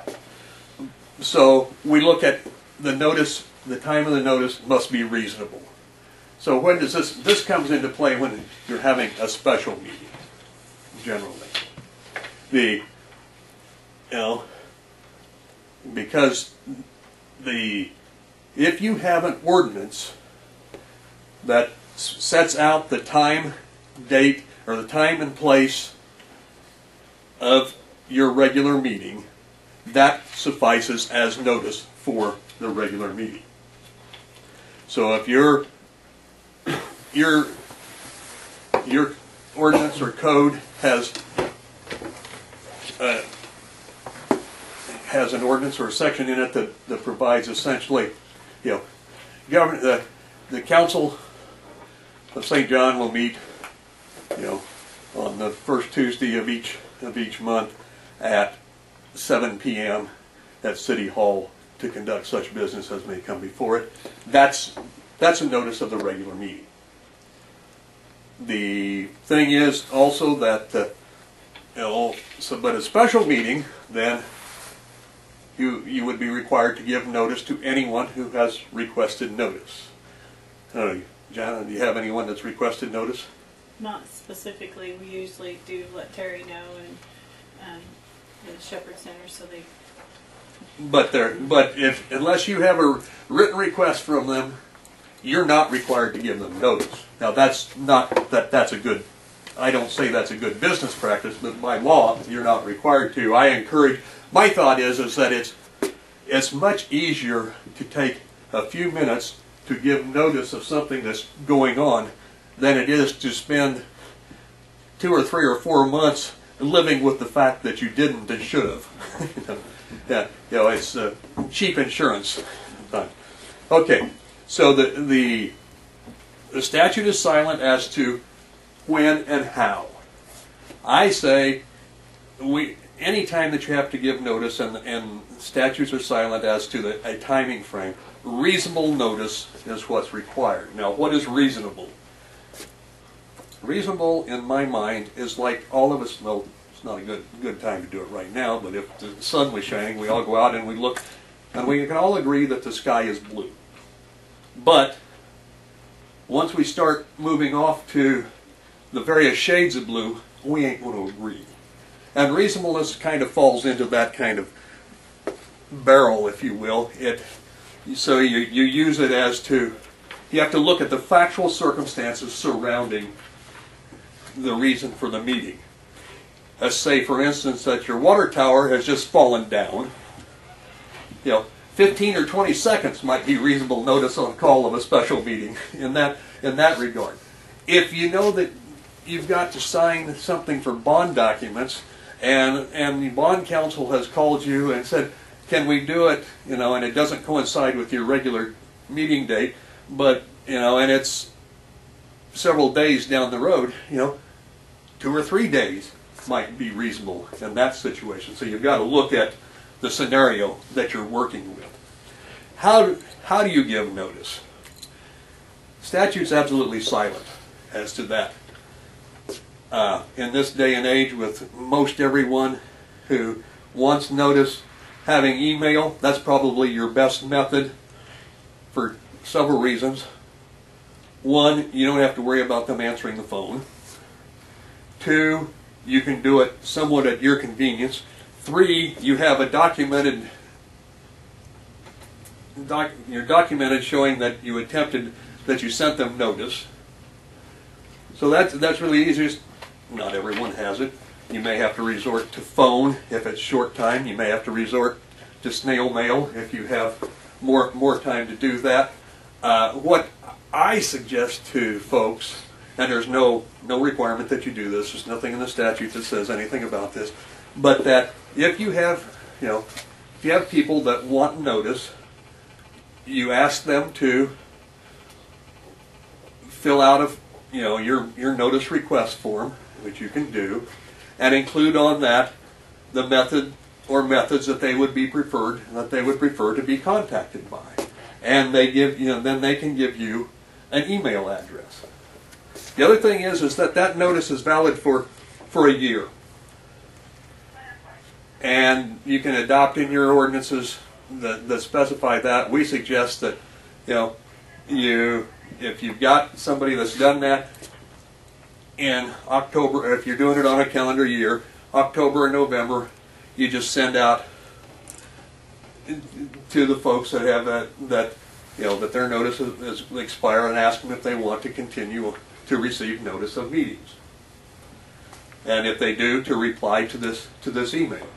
Then you've got it written, you can put it in your, in your note, in your open meetings notice file and go on about that. Questions regarding notice, as I've plowed about here and run, a, run amok. One thing I haven't mentioned. Under the statute, it is really the mayor's responsibility to see that the Open Meetings Act is followed. In practicality, it's the clerk that sees that sees that things are done. Uh, so, you know, just to just to throw that out as to, you know, that's statutorily that's the way we do that. Again, the notice is not required to be in writing, not required to be given in any specific time frame, but should be given in a reasonable time. Uh, as I said earlier on, publication is not required and is inadequate to fill the bill. You, individual notice is what is required.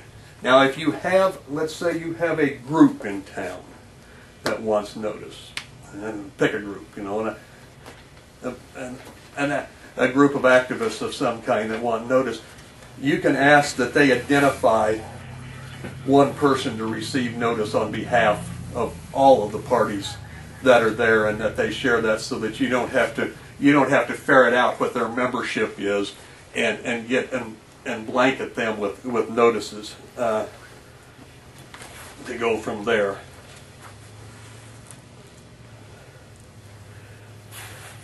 Another thing about notice i- is that if you change, you know,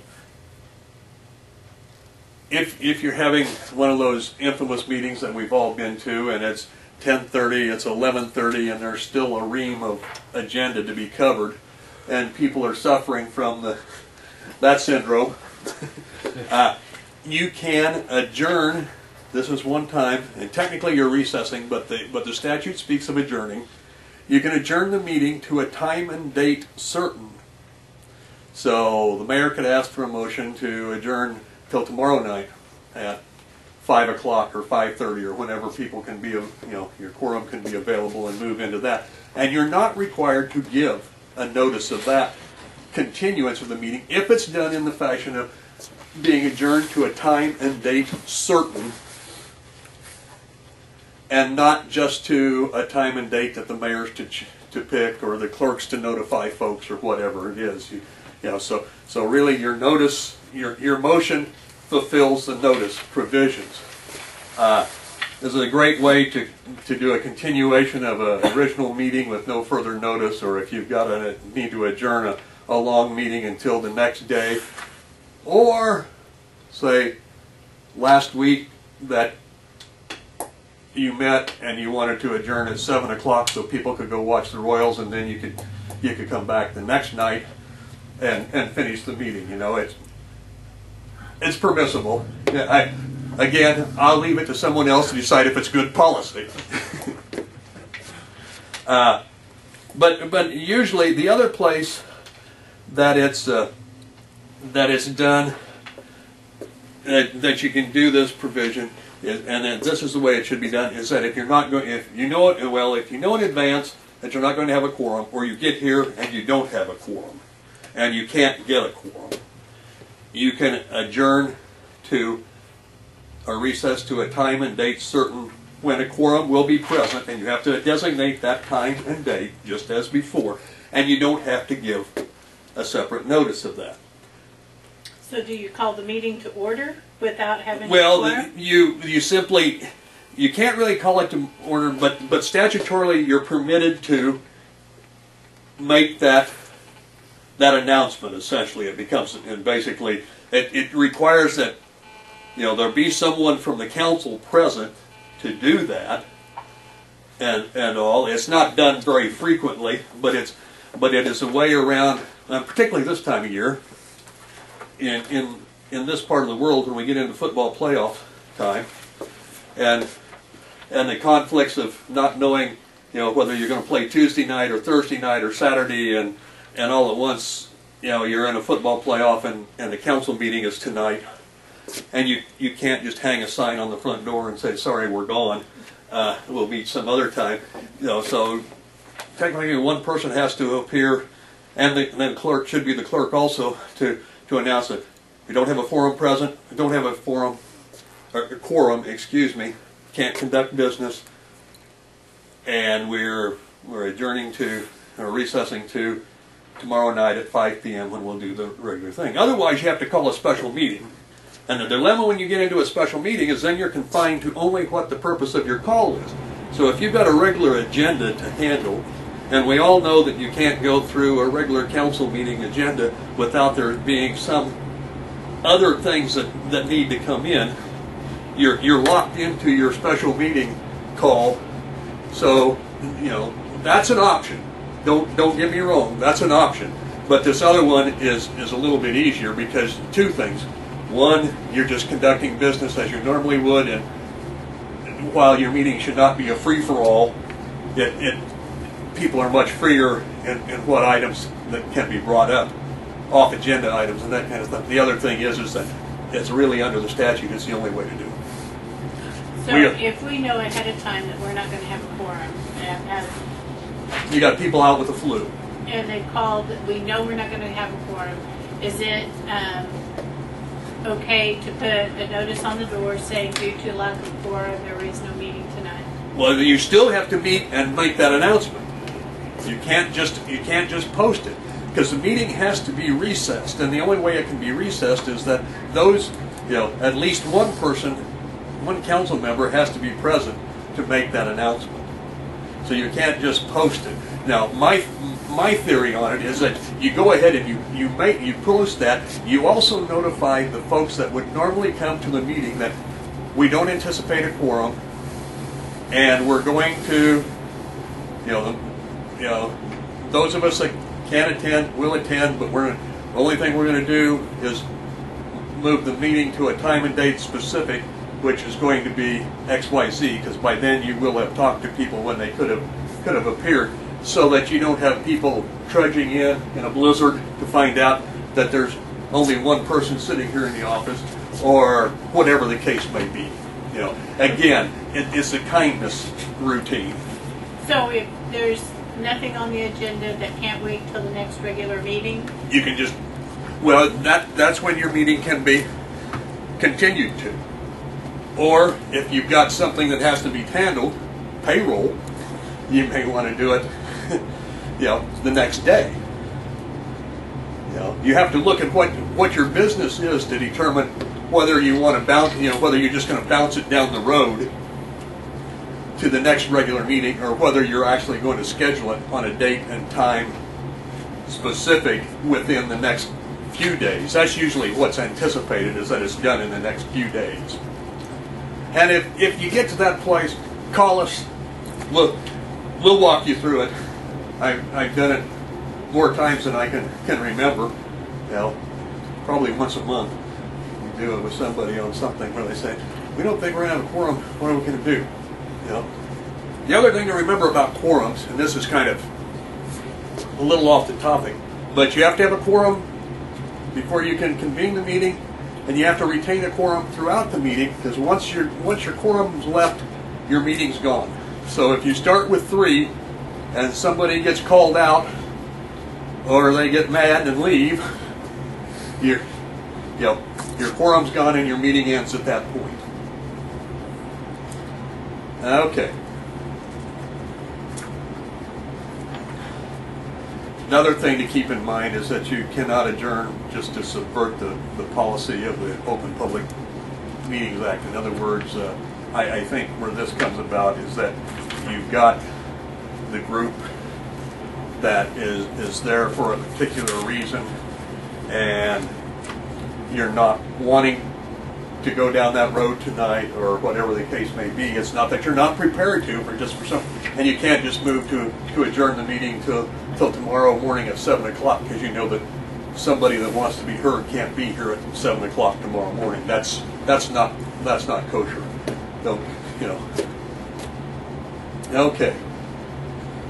All right. A Couple things that the Open Meeting Act does not require. We've talked about what is required up to this point. It Doesn't require that an agenda be prepared at all. Now, I don't, to me, that's not good policy. Nobody knows, you need an agenda for a roadmap to know where you're going, but it doesn't require that it be prepared. And if it is prepared, it doesn't require that the agenda be published. Now, it, it does require that the agenda, that it, an agenda is prepared, that it's made available to those who request it and to those who attend it. Uh, and it should include all discussion topics that have been decided in advance. Uh, and, but it may be amended during the meeting to either add something to it that wasn't, you know, agenda, I don't know how you, when We you, have additions to agendas Yeah. at the very beginning of the meeting. yeah, I was gonna say, you know, if, sometimes, some places their agenda is done Wednesday or Thursday of the week preceding the, the meeting night, and anything can transpire along the line at once, so you can add that to it. Uh, agendas can often, often get modified sort of on the fly, is that, like me being here tonight, You've got out-of-town people that are coming in that you want to accommodate so they can be on the road and they don't need to sit around for three hours of something going on. And, and then- so you can ask, the mayor can ask for a motion to, to move bond counsel's presentation from, you know, whenever it is to the, to the head of the meeting, you know, so that they can be on the road or whatever the case may be. You know, so that's when it's usually used. I, I, I tell people, do not you know, don't look around the room and see what group is not present that night and say, oh, this would be a good night to take up that subject and a move to a that, that's that's dirty cool, folks, and that's that's just going to make make reading in, interesting in the newspaper. so we, we won't go down that road. Uh, okay, if you have agenda packets. The preparation and publication of those is not required. But if prepared, they must be made available to anyone that requests. Uh, we're, we're talking, we talk to people now about doing their packets in an online fashion for two reasons. One, it saves a thousand trees once or twice a month. And two, if you have someone that wants to see a copy of it, you can simply, if you've got a website, you simply punch it up to them, or you can email the whole, whole thing to them. Hopefully they subscribe to an ISP that will, you know, handle a large packet of materials. I'm surprised I still communicate with some people that you would think that would, would be able to, and I may have to break something up into two or three smaller chunks to, to get it sent through. But that's the thing. So really, with the packets, the same rules apply as to the agendas. You're not required to prepare them. You just have to make them available the, to anyone that's requesting them. Uh, we, you know, although technically it would be a request under the Open Meetings Act, we would say don't charge people for that because it's going to be voluminous and that's another reason to go online with it if you possibly can. Certainly don't charge the press for it. you, know, you, you- know, we get in enough trouble with those guys without without inviting it sometimes, you know. Anyway, no, I'm picking on him, but that's uh, okay. The, remember, the general rule is open meetings. However, the Open Meetings Act permits closed meetings executive sessions is what they're referred to in the, in the statute, in limited circumstances. This is done to protect privacy interests and some other matters. Uh, I think there's 15 statutorily designated ones presently, and your the topic must fall under one of those exceptions, and the statute requires that there's a proper procedure to be used. The other time that an executive session, or excuse me, open meetings is not required is that when the body that's covered is performing what would be deemed a quasi-judicial function. And, and this is, this is something that where, where they're doing a fact-finding and applying those facts to something uh, akin to what a, a district court judge would be doing. Usually this comes about in planning and zoning appeals and those type of things. Uh, if there's a thought that that may be coming into play, I strongly recommend that the city attorney be conferred with before you run everybody out of the room so you can discuss uh, a quasi judicial matter.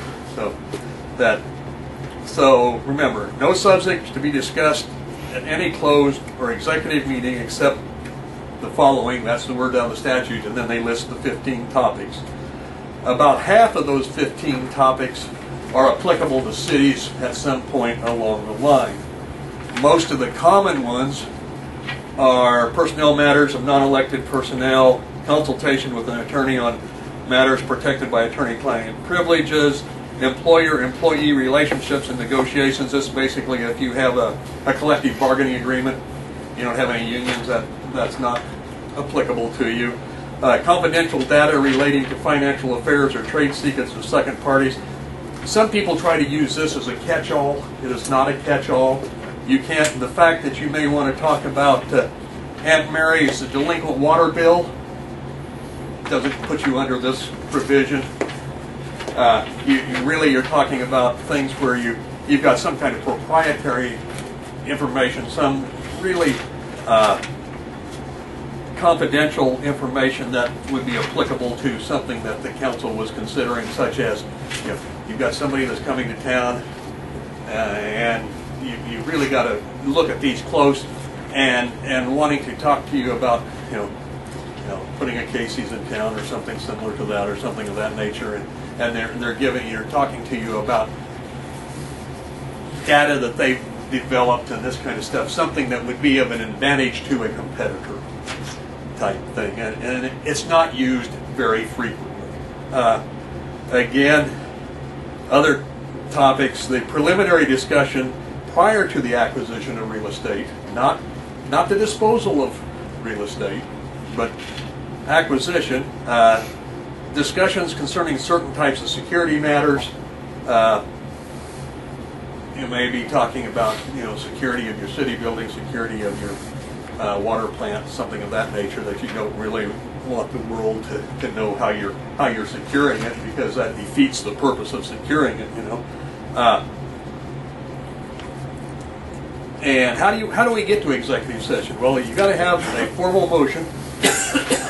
excuse me. That's made, seconded, and carried.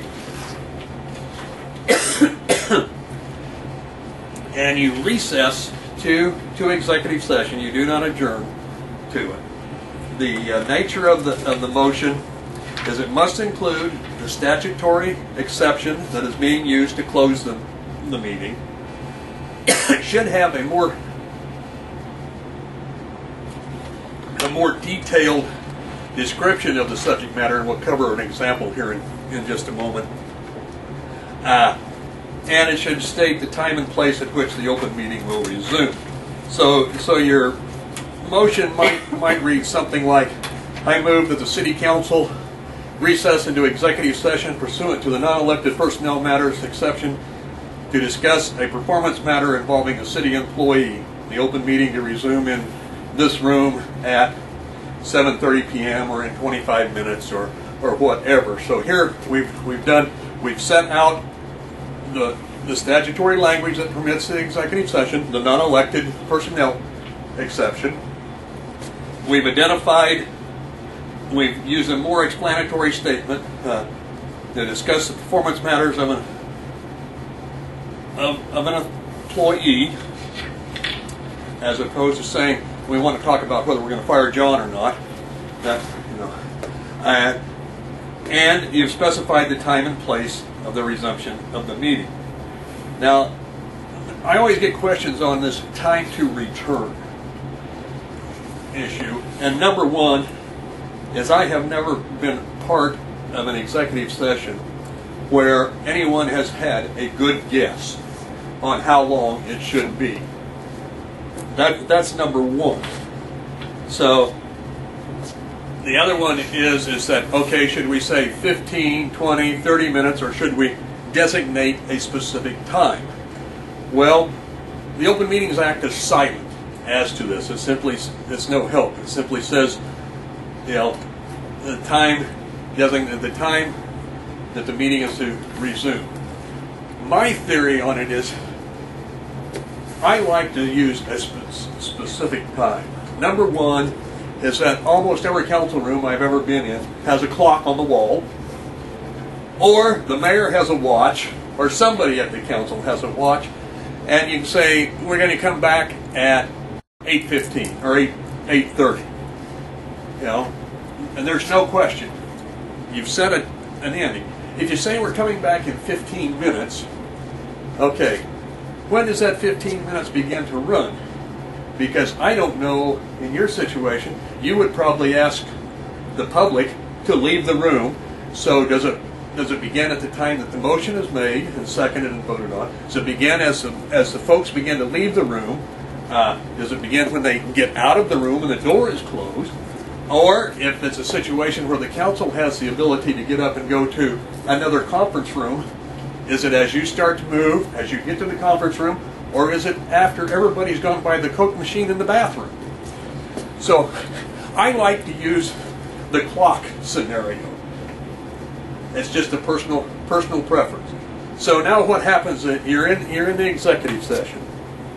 Uh, you've you've been there until 8:30. You're still you're you're still not done with your discussion. What do you do? You come back out and you make a new motion just as you did before, setting a new time to resume. So let's say that you moved it from 8:30 to, to 8:45. Well, at 8:40 you're done. What do you do? You don't come back to the to the council room and call the meeting to order. You wait until 8:45 to call it to order because you have recessed. For that period of time, you have people that may have gotten up and left, gone out to do whatever. Not plug the meter, you don't have that problem. Uh, but whatever and they're they you know you, so you so if you finish early that's when you do the the coke machine in the bathroom and then you come back and, and take up uh, so so when we have the, the motion the motion should be fully recorded in the minutes to, to cover everything that's that's stated and, should reflect when the meeting open meeting is to resume should also include any persons other than the council who are re requested to attend. Because if you're reviewing an employee situation, you probably want the supervisor of that employee involved. Does not you do not necessarily have to include the city clerk because you're not going to take any minutes. Sometimes, some places routinely include the clerk, other places do not. If you're doing the personnel matters, I would say city attorney is always there.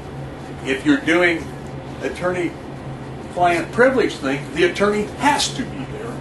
Or the you haven't met the attorney-client privilege thing. The other thing is just because the attorney is present doesn't make it an attorney-client privilege.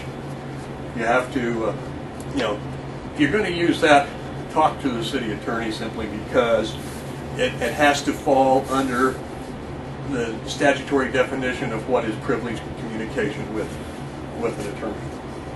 Uh, so, so you can include that. Uh, the, you know, generally only council members and the city attorney or other staff members that may may need to be present are included. Now, if you're if you're looking at disciplining an employee, or or you have a situation where several employees are involved in a disciplinary thing where you know you've got witnesses sort of you know those people can be brought in and out you know really the only those that are, are absolutely required for this discussion should be present but it doesn't preclude you from having others come in as needed. Uh, I have the theory that you want to limit the attendance when using executive session because you, executive session should not become a spectator sport. That's not, you know, if you're going to do it in that fashion, just do it out in the open. I mean, for the most part, there is not a thing that requires you to go to executive session on anything. You can do it all in the open. We have the ability to because the exceptions permit us to do that. And there are times when it's in the best interest of the people or, or things involved not to do that. Uh, Not, not to interrupt, but what you said, um, earlier, I don't know, I'm just bringing it up, but sure. Um, on the executive session, you said something about not, um, somebody not talking about somebody's delinquent bill. Um, can you do that? I mean, can you do that in open meeting and For say sure. names? Sure. That's a public record. Okay. Yeah. There's no there's no exception. There's You know, nothing. I mean, there's the- uh, there's my no question- exception of name. We can say any name out here we want to. My, my question to you, however, is this. And this is from a policy standpoint. We're, we're digressing a little, but you're getting another, you're getting an extra quarter's worth for your money here tonight. My thought, for the most part, is why is council concerned about delinquent bills? Because you should have a policy in place that, that has your clerk or your billing clerk, you know, on top of that and, and taking care of that on a regular basis as opposed to the council having to make a decision of that we're going to turn Joe's water off, but we're not going to turn Mary's water off. To me, you know, that's that's micromanaging of things that you should have in policy in place that your staff can handle. Now, I, I don't know why. You know, I may be running down the road too far ahead of you here, and I apologize if, No, I am. You know, it's just it's just one of those things that, you know, I, I know that there are people that want to know. There are some that want to know that have the need to know. And in occasion, the, the council has a need to know if you are, you know, finance crisis with the city or finance, and you want to know in general, what do we have for delinquencies? How far behind are people? What is, what is, you know, what is our billing and our recovery rate and th- these type of things? I understand that. But to, but for the council to get down to, you know, nitpicking on one or two or three people, you know, to me, I don't. I question whether that's good policy or not. I- I'm not saying that we would, but I was always under the impression you left names that, that you couldn't bring up names and Well- that delinquency in open meetings. Okay. Say you have one things. issue that's an, a problem, Yeah. that you just can't bring that up. Yeah. Um, we have a policy that if somebody is behind on their bill and they can, it, it, we have a system in place that they can do a payment Yeah. agreement. If they're defunct on their payment agreement, then I no longer have any authority and it can come to Well, the in, council. in that at case, time. yeah, and that's that's that's fair policy, you know, Is because that open meeting then? yeah, there you have there's no exception that covers that. Okay. There's no Now- exception that covers that. HIPAA covers our utility billing information. We are not allowed to give that out anymore. The statutes in, that were passed in July of 2013 clarified that for us. The Uh, that it, it's under the Privacy Act that. under we- HIPAA. Well, I don't know if it's HIPAA or some privacy Well, act. the thing is, is that the the Open Records Act that was amended two years ago says you shall not give out any information regarding utility billings, addresses, and that type of thing. But it doesn't preclude you from saying, you know, Mary's three months delinquent, and we've got to do something about it. You know, what it does is it keeps the world from using your utility records as a way to find people. And the concern really was that was addressed. That was addressed too was on domestic violence issues that people were, you know, using billing records. They were obtaining them under false pretense, really, for another purpose to to find the location of where somebody was living. So, you know, For whatever reason that somebody might request it, we're not allowed to give it out. yeah, you're not required to. The- We're the- not allowed to Yeah, anymore. the, the, yeah, the language is very specific that you do, do not have to, you do not give it out. Okay. Yeah. So, but, you know, the, the thing to keep in mind on, on that is that you, you know, there, if you, if there's an exception to the Open Meetings Act that you can fit under, you can use it. But that financial confidentiality one is not, does not cover that situation. Now, you, it might fall under attorney-client privilege if you're talking about what collection actions you can take and and getting advice on that. You know, you, but you have to pursue that on a case-by-case and a fact-by-fact basis as to whether or not it fell. That you know, that would fall in that. But, but under, say I'd call an executive session over that, under that, I'd say attorney-client privileges to talk about Mary's delinquent Well, bills. you would know you would talk about legal strategies for, for bill collection or something of that nature, but you would want you would want to have everything, all of your ducks in a row before before you ask for that kind of, you know, before you call for that kind of executive session because you, you can, you know, you can leave yourself in a violation situation, you know. Okay. Uh, other things, okay, other questions that come up. Should minutes be taken? Absolutely not. Minutes or any recordings of the executive session become open records and are subject to the Open Records Act and defeats your purpose of doing that, of going that. Uh, so, so let's, uh, you know, now, and keep in mind, though, other questions. Uh, may more than one topic be discussed in an executive session? Generally, I like to see an executive session confined to one topic. The reason being is that it's harder to, to control the extraneous stuff that might be discussed if you do not.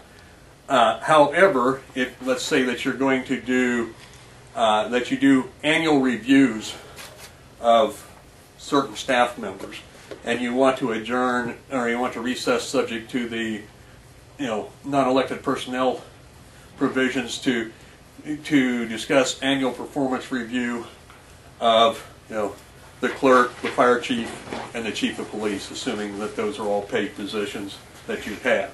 You know, you can you can do that because it's basically a common subject throughout the whole thing. But to adjourn or to recess to talk about the annual review of, the clerk, uh, whether or not to hire, you know, somebody, you know, to, to review the you know, to to review the uh, resumes for the new dog catcher and you know something else.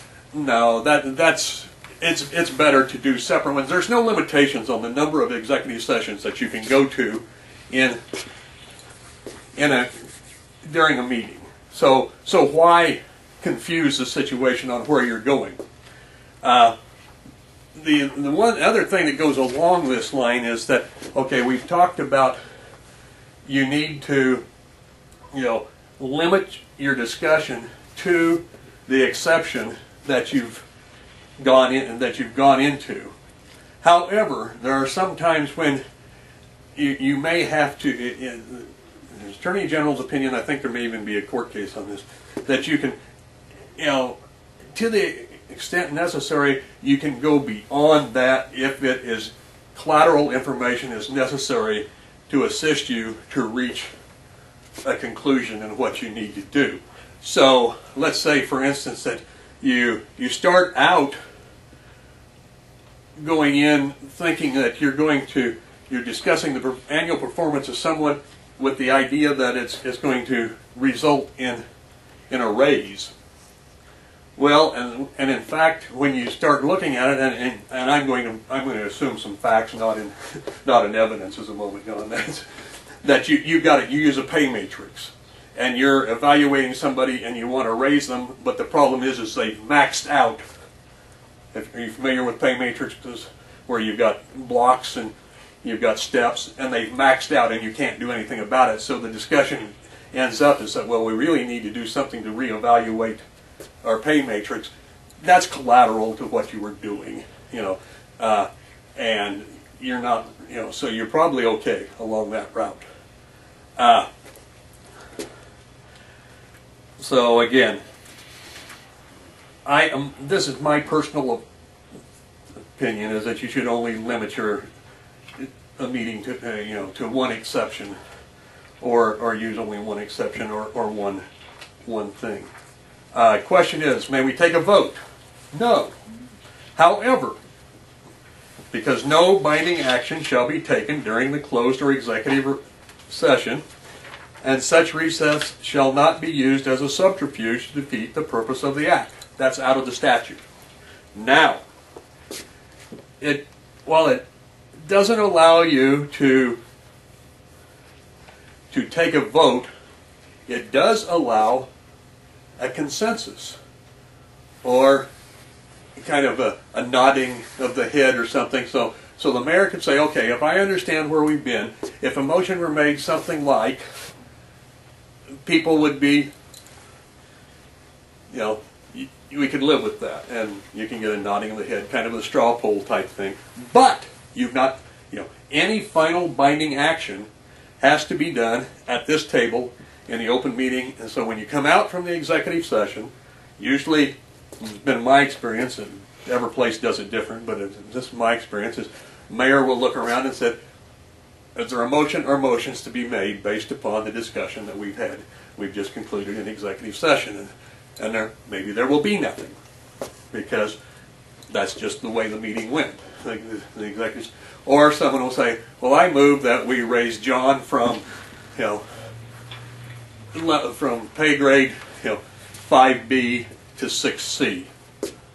And, you know, and everybody votes and you go on about the way, or you move to terminate John, or whatever the case may be, you know. So you're, you're here, you're in the open, everybody that's present can see and hear and be heard on what's going on. Uh, we have people that have gotten in trouble because they didn't take any action when they came out, but people thought that they had. You know, something transpires. You, you, that's why you want to ask for motions. That even if you, even if you've come to, uh, you know, we've talked about it, we've talked about it, and you know, nothing's there, but we want to, we, you want to ask for a motion. Okay. Questions? Any questions on on that issue? Okay. Other questions? How long can executive session last? Well, there's no specified time, and we we kind of talked about the the time. Uh, the only thing really is you're limited by the time that you've specified in the motion, and we've talked about coming back in and extending that time and doing that, or that, or waiting if you get done until the time has has ran. My suggestion is usually because nobody likes to sit around and stare at each other. It, it's easier to say, well, okay, you know, we'll come back at 20 till. Well, at 20 till, you still need another 10 minutes. It's easier to come back in and, and do another 10 minute motion than it is to sit around and look at each other for 10 minutes and, and just let the clock burn. Because here's the other thing that happens people can get tripped up. You come out of executive session, you've got eight minutes to burn. You're standing around in the ante room or wherever, and, and all at once people start talking about what what was discussed or what was going on in the executive session, and you haven't called the meeting back to order. You're in violation of the Open Meetings Act. Because you're, you're talking about the business of the body when the meeting hasn't been convened. So, you know, that and standing on the front steps after the meeting is over and talking are are places where you can get tripped up. You know, it's human nature. You know. So confine your discussion to the to the football, fishing, and foolishness that I use as my standard warning about what you can talk about. Uh, should is executive session discussions remain confidential? Yes. Now the problem there is that you know subjects that are discussed should not be discussed outside of the closed session. That's the reason for the closed session. The issue becomes you can't preclude someone on the council or a staff. Well, a staff member is a little bit different because you can you can hire and fire them, but you can't hire and fire elected officials. The, and you can't adopt an ordinance that makes it illegal because you can't preclude freedom of speech. Just because you're an elected official, you didn't leave your First Amendment rights hanging at home on the mantle when you came to City Hall. Uh, but they, those kind of discussions, you know, outside of the session, up and down Main Street, I, I don't know how many times I well, it seems like, you know, Main Street knows before we get out of the meeting what, what we did. Well, somebody's saying something somewhere. And, and the problem there is that, you know, it, this, that kind of activity, in my mind, reflects adversely on the city and the individual who's doing that. It, it to me, it, it's a breach of trust or respect.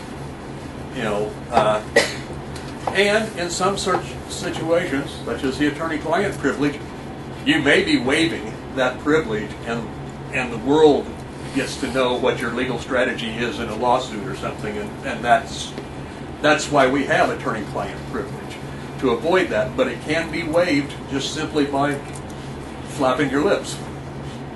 Uh, now, you know, so those are reasons not to not to discuss what went on in executive session up and down Main Street. You know, it, that the other thing is is that if you come out and you fire Joe, well, that's public record.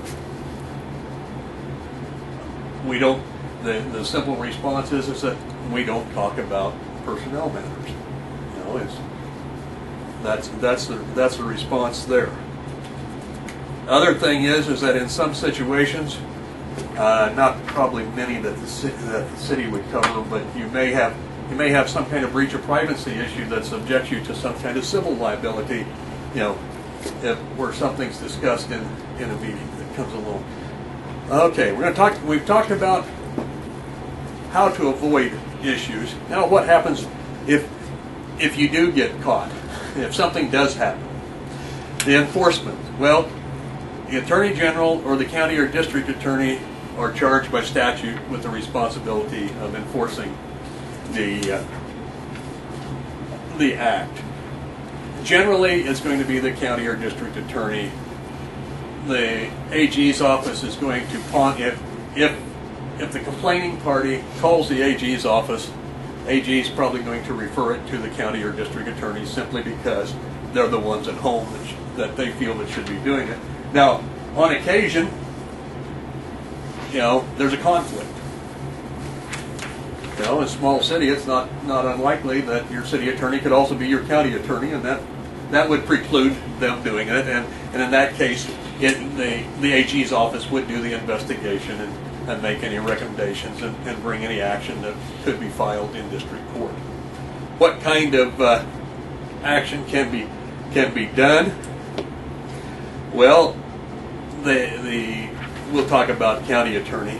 They can seek an injunction, which is an order, court order that prohibits you from taking action. In other words, if you you've been chronically violating the act, they can order that you not violate it, and if you do, then you're in contempt of court because you violated a court order. They can uh, enter an order of mandamus, which is an order that compels you to do something, give notice because you're required to do it by law. They can impose a civil penalty of $500 per violation, and that's a penalty upon the individual that's that's been involved in there, not the city. Or they can avoid the action that's been taken.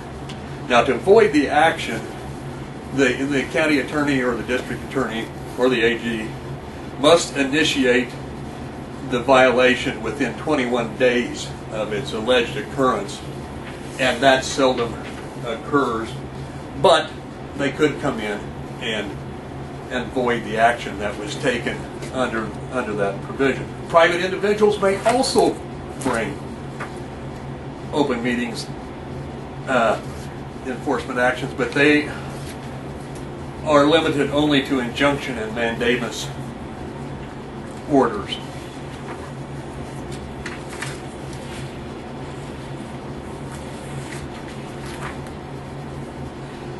Now, usually what we find, for most part, well, let me back up a minute. The, you, you can't claim that you're unaware of a violation or that you weren't aware that the law applied to you. Ignorance is not a defense in this environment. Uh, and generally, penalties will not be imposed for what's deemed to be a, a technical violation. Because the Open Meetings Act calls for penalties only when a meeting is not in substantial compliance with the act. Now, usually where this might come into play is that if you have a motion to go to executive session, motion is to go to executive session under the, the uh, non-elected personnel exception, and you fail to put that little qualifier in there to discuss, you know, performance, employee performance, or something of that nature, that's a that's a generally considered to be a technical violation, and you you can get slapped on the wrist, you know, but seldom do you see any of the, the cash, the, the penalties or any of that thing. Usually, and, and that's sort of where we come in and how we get to this point where, where we're here tonight, is that uh, is that someone you realize after the fact, or someone brings it to your attention that you probably violated the Open Meetings Act in, in some way. Uh, you failed to get notice to everyone, or what, you know, something of that nature. And you, you, city attorney, clerk, somebody calls us and said, we did or didn't do this, are we in trouble? And we say, well, usually we have to tell us more. But say, yeah, you probably are. Our recommendation is, is that you self-report to the county attorney. The best way to do that is to have the city attorney write a letter to the county attorney and say, my counsel did blah, blah, blah, blah, blah. I believe that to be, you know, a, non, a, a violation of the Open Meetings Act. And we propose to do da, da, da, da, da, to, to rectify the situation. Usually, you know, what that ends up is kind of like where we are here is that, because the reason is county attorneys don't like to investigate these matters. They're, you know, they have a lot, they have bigger fish to fry and, and it, it makes no friends anywhere along the line regardless of how you, how it shakes out. Allowed. pardon me? But Kansas Press Association. Oh yeah, yeah, yeah. And the thing is, is that you know they do have to be re- they they have to be reported, even though you self-report. It has to be reported to the AG's office because they they keep a, a log of, of potential violations and, and remedies and what's imposed. But if if you contact the city, uh, the county attorney, and you say, okay, we had what we believe to be a technical violation because we failed to do whatever. Uh, and, you know, we basically will enter into a cease and desist agreement with the county attorney and we agree to get training and it won't happen again. You know, most of them will, will jump at that opportunity. Now, we have people that are much more egregious than that, that they, they just don't really care. And those are the ones that you get to read a lot more about. Uh, I think I'm going to get to talk to one of those groups in the next couple of weeks. Where, for for three years, the county attorney's been trying to get them to do something, and they won't even talk to her. Uh, we'll, we'll wait to see what happens there. Uh, but uh, you know, and it it doesn't matter the size of the city. City of Topeka got hammered on an open meetings violation where they, I don't remember if they agreed to not sell or to sell their city helicopter, basically standing around out in the hallway after, while, while they were on a, on a break. Uh, that didn't fly well, no pun intended there, but, but you know, you, you've got all kinds of legal counsel hanging around, and it still happens. And, and believe me, that as, as a former city attorney, it just leaves you pounding your head on the wall. We buy you people books and we buy you books, and what do you do? You must just only eat the covers because we can't. You continue to to mess up. But anyway, be that as it may, uh, the enforcement then comes along in in the form of injunction, mandamus, or civil penalties. Can impose court costs, attorney's fees, and as I said before, as validate the action that was taken. Can result in removal from office for the elected officials involved. Now, the Open Meetings Act does not list removal from office as a penalty because that it comes in underneath the uh, the concept of ouster and recall. Ouster being an action initiated by the county attorney to re, to remove an elected official from from office. Recall being an action initiated by the citizens on petition, and that results in, if it's a valid petition with the requisite number of signatures, and right ends up in an election, which basically is to remove you as opposed to elect you. And the reason that those come into play is that they each of them have an, one of the elements that's possible for ouster or recall is a violation of state law.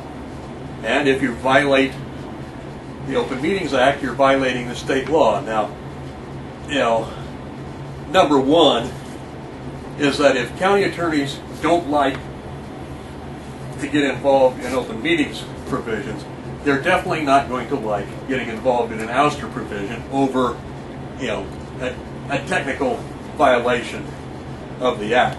So, you know, minor falling off the wagons probably aren't going to get you in trouble. Continuing episodes will. Uh, let me back up then. Okay. Contrary to what some people think, no jail time comes about out of out of the violation. Uh, court costs can be assessed against the body, but not the individual members. So the city could be they could be imposed. Uh, a change in the law that allows the court costs to be assessed to the complaining party if the court finds that that person was making basically an absolute frivolous complaint and, and doing it without any reasonable basis to do it. Uh, you know, we, we see people talking to us about a lot of things that I would that that are technical violations, but but there's reason to believe that that they you know that they were occurring. Uh, okay, we're about about to wrap up here and get to get to talk about the, the fun things on the the test. Uh, some things to remember. Uh, resources. You, you each have the best one, which is the Open Meetings Manual. Also in the clerk's handbook, as I mentioned before, there's a version, there's a, you know, and, then, and in the governing body uh, handbook, there's also there. And on the Attorney General's website, they have a, an open meeting summary and an outline and a variety. They have some uh, frequently asked questions and, and this type of stuff that I, I that are a good place to go to. Now, before we go into reviewing the test, are there any questions? Yes, sir. I'd like for you to talk a little bit about conflict of interest. Okay. Under Kansas law, conflict of interest only exists when you have a financial interest or a member of your immediate family has a financial interest in a business that you may be city may be contracting or doing business with that that business. So let's say that uh, you own a landscaping business, and the city wants to landscape the park. Uh, you would be precluded from participating in the discussion and the action on that contract, on that, unless they had open bidding for it. If anybody that wants to do it can bid for it, then that you're not out of the out of the mix. Let's say that uh, you know. Do you? And let me ask: Do you have a specific factual situation rather than me kind of making things up I'm just gonna give you a scenario. okay I'm sitting on city council. It comes in, goes in an executive session, and we talk about somebody giving you a piece of property or something. can't do that. Can't go to executive session to do that. Really? yeah. Executive session can only be used for the preliminary discussion of well i take that back preliminary discussion of acquisition of property. So yeah I yeah. thought you could yeah. Yeah i'm sorry. Okay, and in that, in that executive session meeting, we found out that the council or the body decided they weren't interested. Well, maybe one of them people that was in that executive session, that heard that conversation, went and made an offer on the building that they were gonna give the city. Well, Do well I have a conflict of interest? Well, if the if the council came out and voted to not take action, to accept a gift, or whatever the case may be, to me, the city's out of the picture.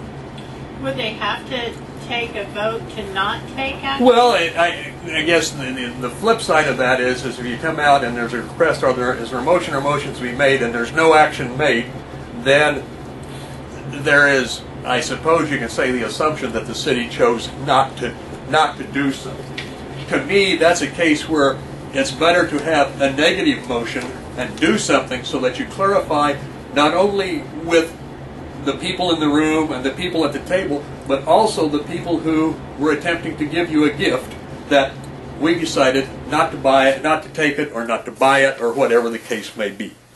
Uh, that's, you know, again, it, it's one of those things that uh, it's, uh, you know, it, it, it is problematic regardless of how it's done because somewhere along the line somebody's going to say, well, you got a better deal because.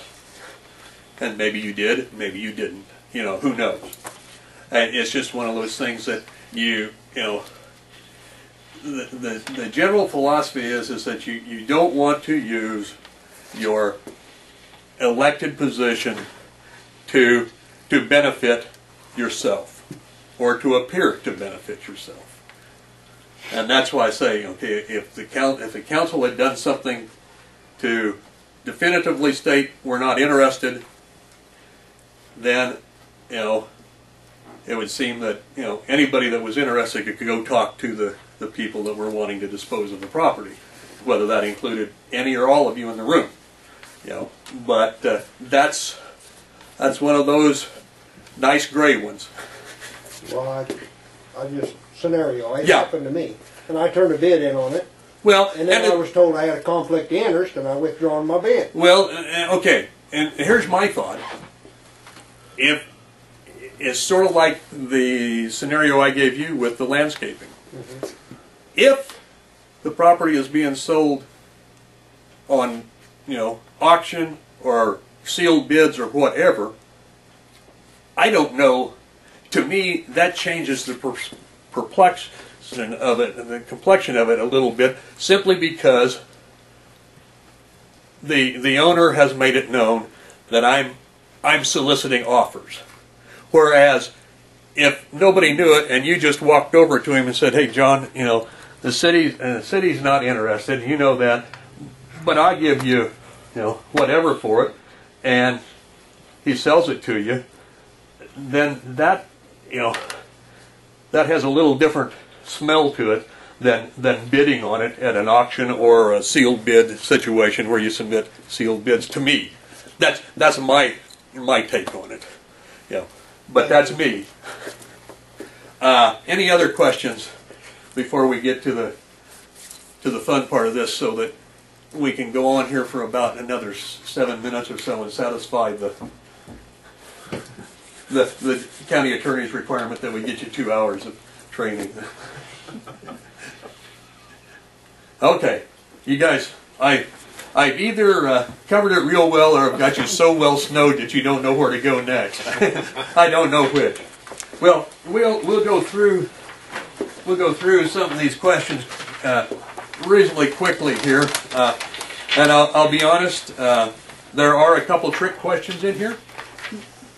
So, uh, Okay, the Open Meetings Act, number one, Open Meeting Act applies to city commissions, councils, committees, subcommittees, commissions, boards, etc., formed by, formed by them. True, that, that was, okay.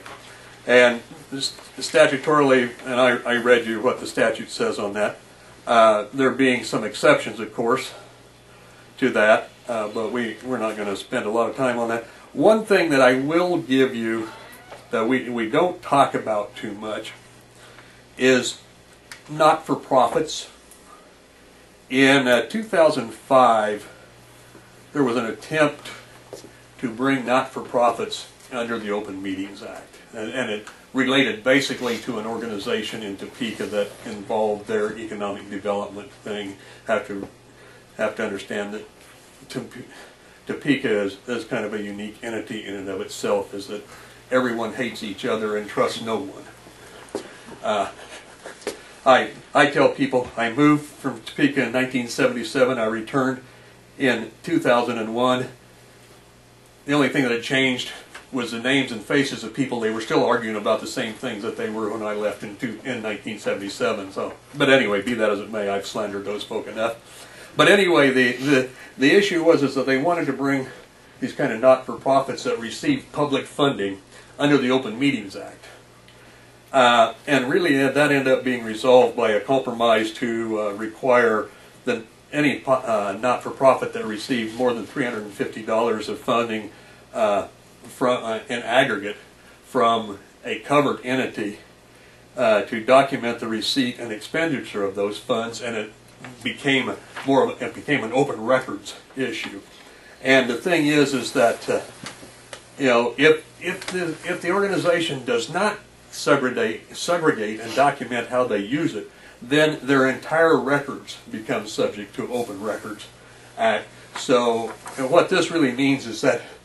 Uh, and I don't know if you have any organizations in town that you, you make a contribution to. Uh, if you had a, I don't know if you got a chamber of commerce or a county chamber or something that you might make it. You you should need need to remind them that if you do, that at least that element of their records are subject to to open records to keep them from being. Now this doesn't mean, and, and we're kind of deviating here a bit. We're getting into a bit of open records, but I want to clarify. Doesn't mean that that since you spend $150,000 a year with a co-op to buy diesel and, and other things, their records aren't open. Vendors' records aren't open. It's just the not-for-profits that you may make an, a contribution or, or assistance payment. Okay, number two. Under Open Meetings Act, a work session, retreat, study group, and executive board meeting are considered meetings. It's all true. Doesn't matter what you call it. You can call it a horse race, but it's still a meeting if you if you meet the the three the three prong test. Number three, when the Open Meeting Act applies to a meeting, the city must give notice of the meeting to those requesting notice, post notice of the meeting at at least four hours in advance, and conduct the meeting in the open. False, yeah. Because you, you're only required to conduct it in the open. Those other things is you just have to give it to no, reasonable notice to the folks that have that have requested notice. Number four, a meeting as defined by the Open Meetings Act requires that there is a prearranged meeting of a majority of a quorum of the body with interactive discussion of the business of the body and binding action is taken. I've put as many false things in there as I possibly could. yeah. Because the, the current definition of the meeting does not require that the gathering be prearranged. The old definition, an older definition, way back when, did have that in it, incidentally. And no longer is it a majority of a quorum, it's a majority of the body elect, or the membership of the body, and the binding action is not required. Again, it's the three-pronged test. If you can remember those three things, you can say, whoa, this is, this is a road we don't want to travel. Number five, a, a, past practice of giving notice when a notice has not been requested establishes an obligation to continue giving such notice. That's false. There's no, and I, I took that off of the AG site, so uh, I, you know, it, that's one of those that, you know, sometimes you find yourself in, in kind of a constructive notice situation where you've been giving notice and now you've quit giving it to somebody and they haven't, you know, but at least as far as the AG is concerned, is that's, it- and the statute pre- precisely says that it has to be to those who have requested it and not been interpreted to establish this type of requirement. Number six, the city council or commission is required to go to an executive session to discuss matters relating to personnel matters of non-elected employees. That's false. You're not required to. They have an exception so that you may. And, and this was one of those that was a bit of a, a trick question. I, I acknowledge that because statutorily permits cities to go to executive session for certain reasons, which include the non-elected personnel matters, but the use of the exceptions is discretionary. So you, any of the things that you can go to executive session for, you can discuss in open meetings. It may not be the best policy. When holding an executive session, the governing body may include anyone they believe will aid them in the discussion. This is true. Now, only the members of the body have the right to attend the executive session. And so you may discretionarily include anyone that you believe will aid in the discussion. We talked about the supervisor in a disciplinary matter or something along that line. Uh, Certainly legal counsel in some situations and mandatorily in the attorney-client situation. Uh, You know, some cities routinely include the city, city attorney and city clerk in, in all executive sessions, others don't. Uh, Okay, number eight. Open Meetings Act requires that minutes be taken of the meeting. Wanted to give you one, one easy one. That's, that's false, for sure. Okay, Huh? I thought it, how was that false? oh, the take of the meeting, I'm sorry, I misread the question. Yeah, you thought, you were talking about. Yeah, requires, the co- but the thing is, is that it does not require the taking of minutes at the meeting. KOMA does not address minutes in any way, shape, or form. So if you have a regular meeting, like tonight, clerk's taking minutes, that's not under the Open Meetings Act. She's not required to take minutes under the Open Meetings Act. So that, that question is still false. Oh, I misread it and, yeah. But Okay. it's required someplace. Yes, and because and, and here's an interesting, just a side note. Statutorily, there is no reference to minutes anywhere in the statutes Keeps record of and action. actions. Yeah, or records. Yeah, maintains a, a record of the actions or records the act of the body and, and a variety of words of that way. Which, and, and a journal of actions. I think they even use that old term. Uh, but we interpret it to mean minutes. Okay. Number nine. A governing body may go to executive session under the personnel exception to discuss an employee review, True. discuss the development of a salary matrix. Yes. The reason for that, i any if you've got a question on whether or not it's a proper matter to go to executive session, uh, non-elected personnel, is that think of it in terms of specifically identifiable person or persons. If you're discussing something that impacts all city employees, such as a cost of living adjustment or adjusting the pay pay raise or whether or not you're going to you know, give dental coverage in your health package, that does not fall under the exception. Okay, to review applications to hire a new city police officer. Right. To review the actions of an independent contractor. False. That is false. Now, there, there may be an exception here.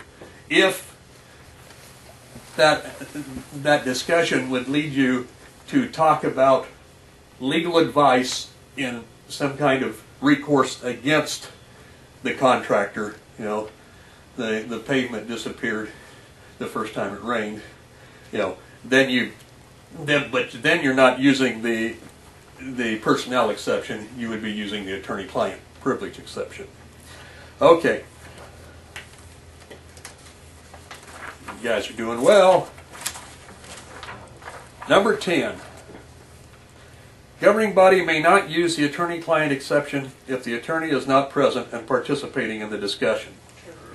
I think we beat that horse to death earlier this evening, so we- we'll go on down that road. Uh, Now, I don't remember, because I, I've given portions of this presentation earlier today in, in, in Wichita, and I can't remember who I've told what to, uh, reaches that point in the evening. I think that in this day and age, where we have the ability to electronically tie meetings together, that, you know, if, if push came to shove, you could probably do attorney-client privilege with the attorney available via Skype, face-to-face, or something along that line. You know, that's a, that's, that constitutes a meeting for violation or, or, or whether or not the Open Meetings Act applies, so I don't know why it wouldn't in, in that, in that rare case that, uh, you know, telephone. telephone prop, Council's outside of the state or someplace. Well, yeah, and we, we tell people, and, and really, that, you know, if you need to, if you need a quorum, and, and you've got somebody that's laid up at home with a busted leg, you know, and they're not gonna come out in the ice and snow, but it, you can set up your meeting via conference call, but it has to be such that everybody can hear and be heard, and the individual on the other end can't get up and wander off to someplace else uh, because you've lost your quorum. Now, I recommend if we do that, if you do that, that you establish some kind of written policy under, so under what kind of terms and conditions, what kind of conditions that you can use it. We had a city a few years ago that had a snowbird for a council member, and they want, they were gonna go to Florida from whenever the snowbirds move off until they come back, you know, the end of October to the the first of March, and they wanted to, to meet, and council told them, no, we can't, we can't have that, you know. You knew when you ran for office that you were expected to be here, et cetera, et cetera, you know, and so, you know, it, it caused a bit of a brouhaha, but, uh, because they had done it before, not for, not for a snowbird situation, but for other times when they needed to get somebody to the council meeting. You know, so I, I suggest that you, you do some kind of written policy as to when you would, you would use it. You know, now, that situation, let's say that uh, he was in Florida and he was snowbirding, and you had a situation where you had to, you had a special meeting, or you had a meeting where you had to have a majority, a supermajority, you had to have four instead of three votes to pass something, that might be reason enough to call up and get them on the phone. You know, you've got an extraordinary circumstances come about, but just to accommodate somebody that doesn't like Kansas winters, I have, you know, my, my degree of sympathy gets a little low, I guess, from some standpoint. Okay, uh, let's see, where were we? Okay. Open Meeting Act requires that the covered body create an agenda for its meeting. We've talked about that, that's false. It Doesn't require an agenda to be prepared, it simply requires that there, if there is one, that it be, that it, it be made available. Open Meetings Act may be enforced by the Attorney General, county, or district attorneys, and by private citizens. True, we talked about that. Uh, Okay, I, I've given away the answer to this one. A violation of the Open Meetings Act can result in jail time. I've already told you that that, that, that won't happen, no matter how much you might want it to happen, it won't happen. Uh, but as we did say, that removal from office can occur because of the open meetings violation, because you are in violation of state law, and it, it's a grounds for ouster. There's a there's a Kansas Supreme Court case to that effect. But really, and I'll add here kind of parenthetically, probably the most significant penalty that comes to a governing body that violates the Open Meeting Act, particularly if it's if it's egregious or it or or it just happens on a, a number of little occasions, is that there's there's a loss of public trust. We suffer from that anymore too much anyway. So you know, just the just the investigation, mere investigation, even if you're you're found not to have violated it, is you know, leaves, leaves us citizens scratching their heads about, well, what are these people really doing over here? We, we, you know, we try our darndest, all of us that have been in this business, to, to conduct our business in the open. You know, there's nothing, very little, nothing to be gained to, to do it behind closed doors. Okay, off the soapbox. Okay, number 14, a violation of, of the Open Meeting Act to discuss both ex, to discuss both exempt and non-exempt subjects during an executive session. This is a trick question. This is one that I acknowledge is trick. Because it can be answered either way, depending upon the facts of the matter. Uh, generally, this is true. However, the Kansas Court of Appeals has said that if segregation of the exempt and non-exempt topics would make a coherent discussion impossible, then it may be reasonable to discuss both exempt and non-exempt. This came out of a school board case, and I won't even begin to try to go through the factual basis because it's so convoluted. But it, it boiled down to uh, a couple school administrators and who knew what when and who did what when. And the, and the thing is, is that the discussion of to discuss to to figure out whether or not they had a discipline action, they had to determine the who knew what when and who did what when.